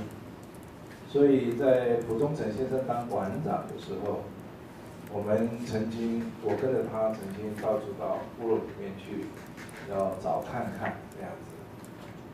我发现我我不知道他的名字，可能一讲你们大概就会知道是谁。他满脸胡子，嘿，但是他收藏了很多东西，嘿，呃，除了东西，他大概就是有很多原周主，他有可能就一直收周主的东西，然后自己放在一个独特的房子里面，然后在他的房间里面，他又喜欢摄影，他就一大堆摄影的照片。为什么没有办法跟地方文物馆结合？我的意思是说，其实博物馆知识、博物馆意识、博物馆知识、博物馆技术，可能某种程度已经被原住民先先进来了。所以，我们现在一直看的都是公部门的大博物馆，可是我们村、我们乡村里面也有人开始有收藏的习惯了。我们卑南族有大野民俗博物馆，好，呃，周主的那位先生让我印象深刻，哈，呃，我忘了那个部落，我我们其实当时就是直接想要谈收购，好，啊，就是希望能够充实史前馆的馆藏。OK，我们又到另外一个地方，看到他全家都是人骨。呃，不是人骨，都是兽骨，很有系统的那个，他打猎的那个，他打猎的那个兽骨，呃，人人野兽，好，有学者想要研究，哦，透过问有没有可能，呃，收购，就是因为想要做这个野兽 DNA 的研究，他说，可是因为还不想让，所以我们就没有谈成。就继续继续让他在，可是这个已经十年以上了，我不知道现在他到哪里去了。我现在不知道他们的状况是怎么样的。假设假设他还在，可能现在就是要回过头来思考一个问题，就是有些博物馆的观念已经进到部落里面去了，他们也可能把这种当做是一种文化关怀、文化保存、文化呃。呃，就是文化保存的一种方式。可是坦白说，呃，文物虽然集中了，可是保管的并不是很好。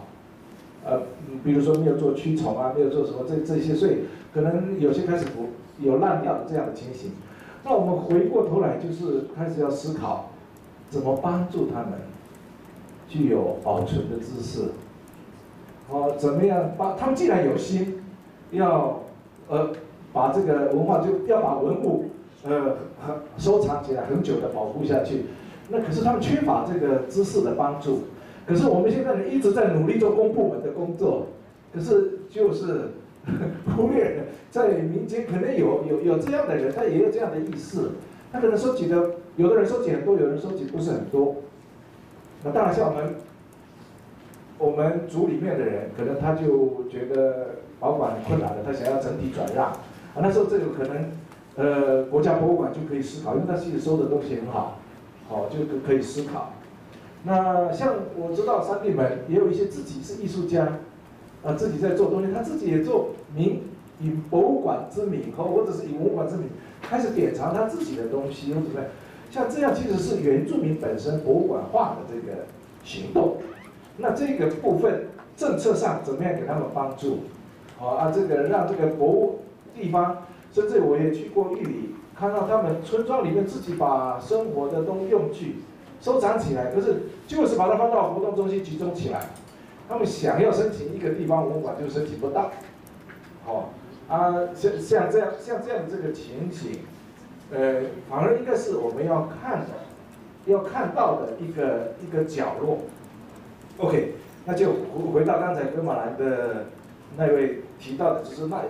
呃原住民的从部落的观点来讲是应该是什么样？我觉得某种程度，我刚才举的几个故事是可以反映部落里面的一些状况。那么如果我要对马田的这个呃建议呃这个问题有所行政，我建议呼吁原民会进行组织改革。哎，为什么地方武馆不能设馆长，而且是专职、专职的馆长、专业的馆长，而就是就是文化行政考试进来的馆长，啊，人对了，事情就会对了。好，乡公所大部分都是做政治的工作，为什么不不能乡公所不能有文化的部门？原住民的文化资产保护越来越重，哦啊，这个越来越需要更多的观念，跟着，那就是要把公务人员、公务机关调整。呃，公务员素质调整，哦，就是战斗组的战斗训练调整，那这样战斗训练调整这些事情可能就就可以做得到了，不会一直还没有人啊，没有经费啊，没有什么那些，先从人开始就把它调整起来，是不是？那这样的话，这个就不会一直是像是马田应该是地方文物馆里面表现最优秀的，可是他都都都有无力感哈，就是某种程度可能需要进行部分的。组织改造，然后再呃再做人员的强化。那如果说要做人员的训练或者要在，那我们现有的博物馆或者是大学的博物馆就可以发挥很大的功能，来帮助这个原住民更力量更强。当他力量更强，他知道博物馆是很难的时候，不会跟你一直争那个怎么样要回来。然后我们先谈合作，可能会比较多这样子。好，这个是我的补充。可以马上回答我是赞成啊，先让这个林志新当馆长。呃，我回应一下刚刚同学的那个提问啊，呃，这个婚姻当然是拟人化的婚姻了啊，呃，在法律上当然是没有约束性的，但是呢，我们部落是一直是玩真的，所以等一下可能台大要回应一下。呃，怎么说呢？在我们台湾组里面哦，如果说已经把不皮筋了，呃已经给你汤匙了，你就成为一家人哦。所以我们的丰年祭，我们的任何大事情，我们都会给你们帖子这样。所以你们上一次的结拜，你们也有给我们帖子，这个就是我们的互动关系了哈。那很多以后的发展，我们都要去做合作，呃，尤其是校长。可能要常常去看一下毛该啊上，啊至于结拜的话，又是另外一种形式了。呃，结拜通常是人的结拜，呃，呃台湾族是人的结拜啊。如果说另外一种是把布嘛，就是弄一个家在台大这边，那又是另外一种形态。嗯，那个很复杂。可能要谈很久，谈上。我我想，台大应该不止我一个人在这边谈。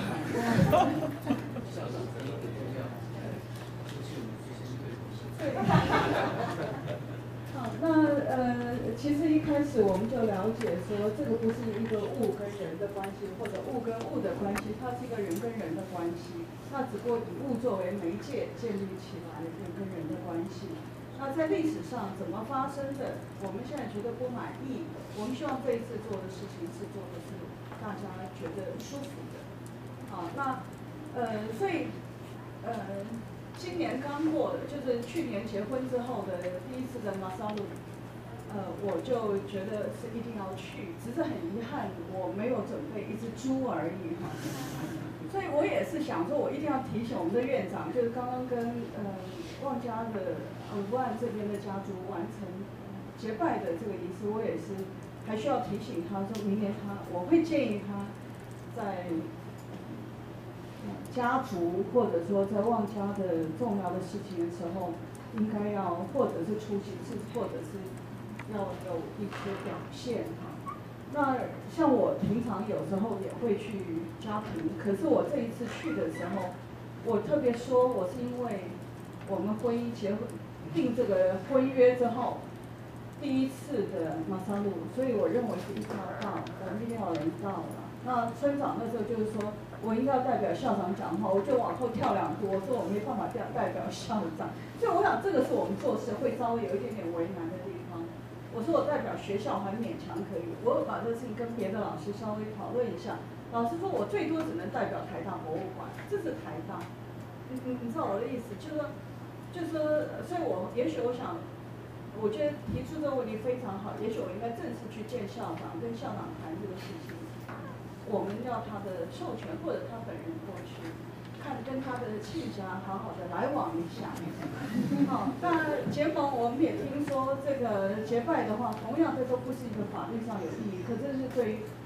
对于呃万家这个家族啊，万这个家族是有意义的，对我们就有意义的。然后不管是婚姻或者是结拜，都是商量之后决定怎么做的，而不是说我们很机灵。其实我听说家庭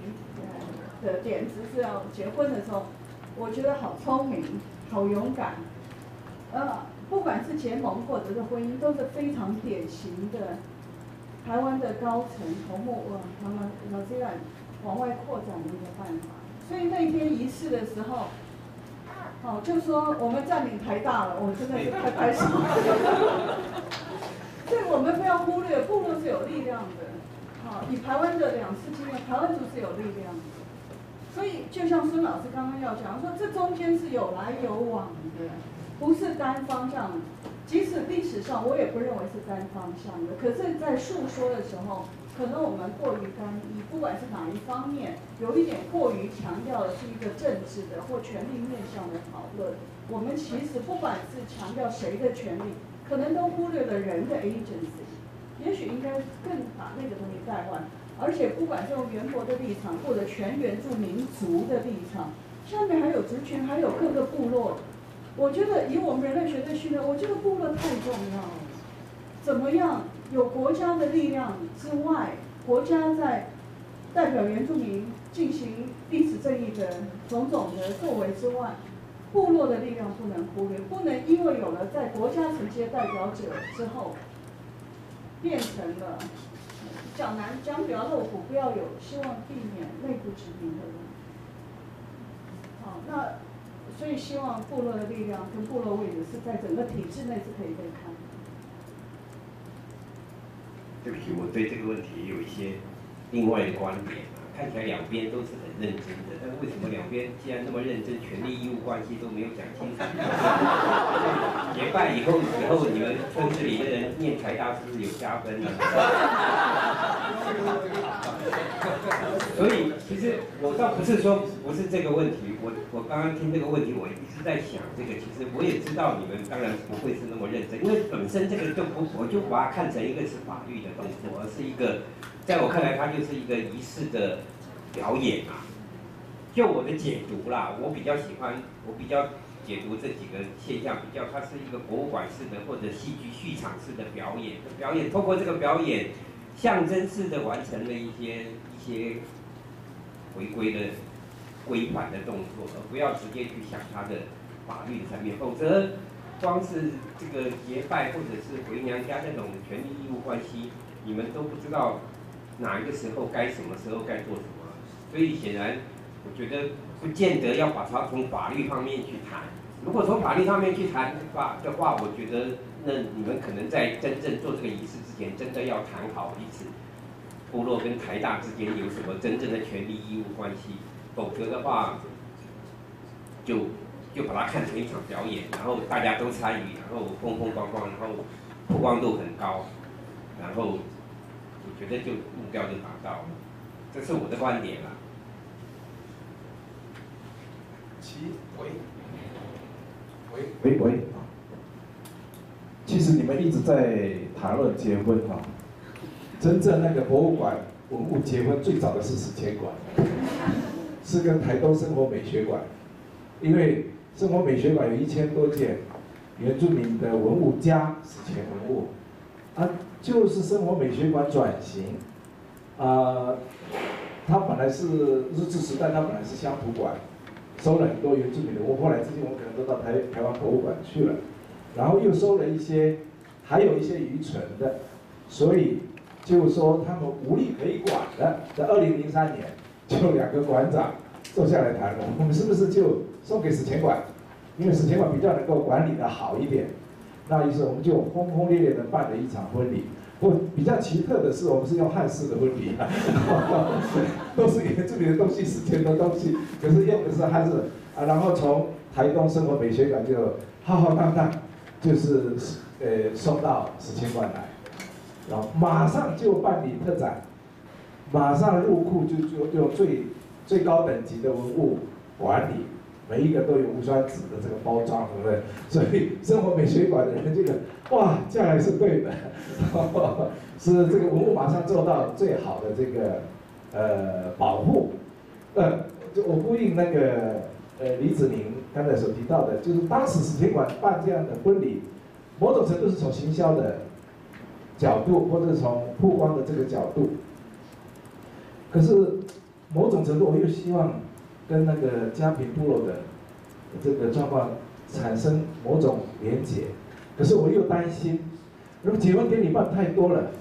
那个台大是不是一夫多妻啊？我 我我觉得我们的做法是有一些弄假成真，我们愿意把它当做真的事情来做，所以我很高，我相信是真的。对呀，因为我相信望家的家族是有考虑到，所以用结拜，我们可以有很多的结拜。可是婚礼的确不适合场馆，因为台大的文物不是只有旺，不是只有家庭啊，不是，因为男主的也有，我们也想结婚了这样的。可是我比较担心的，台大会不会变成一夫多妻，或者这这个，哎，关系会复杂化这样子。刚才的是开玩笑的问啊。呃，我我我们今天就结束到这边哈，在这边结束，我们整个晚了呃一个小时，很佩服各位的毅力哈，跟各位的这个司法的储蓄能力哈。呃，我们的讲者非常欢迎各位留下来，我们有一个电饭哈，各位可以再交换意见。另外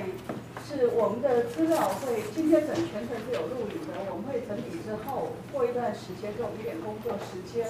会放在我们的呃。连结会放在我们的 YouTube 上面哈，那谢谢各位的参与，那希望相关的单位可以继续有相关的讨论，而且刚刚不知道哪一位讲到的，我觉得可能有一些讨论的场合要带到文物馆，地方二十九个地方文物馆，让地方直接的人可以表达自己的意见。好，谢谢各位。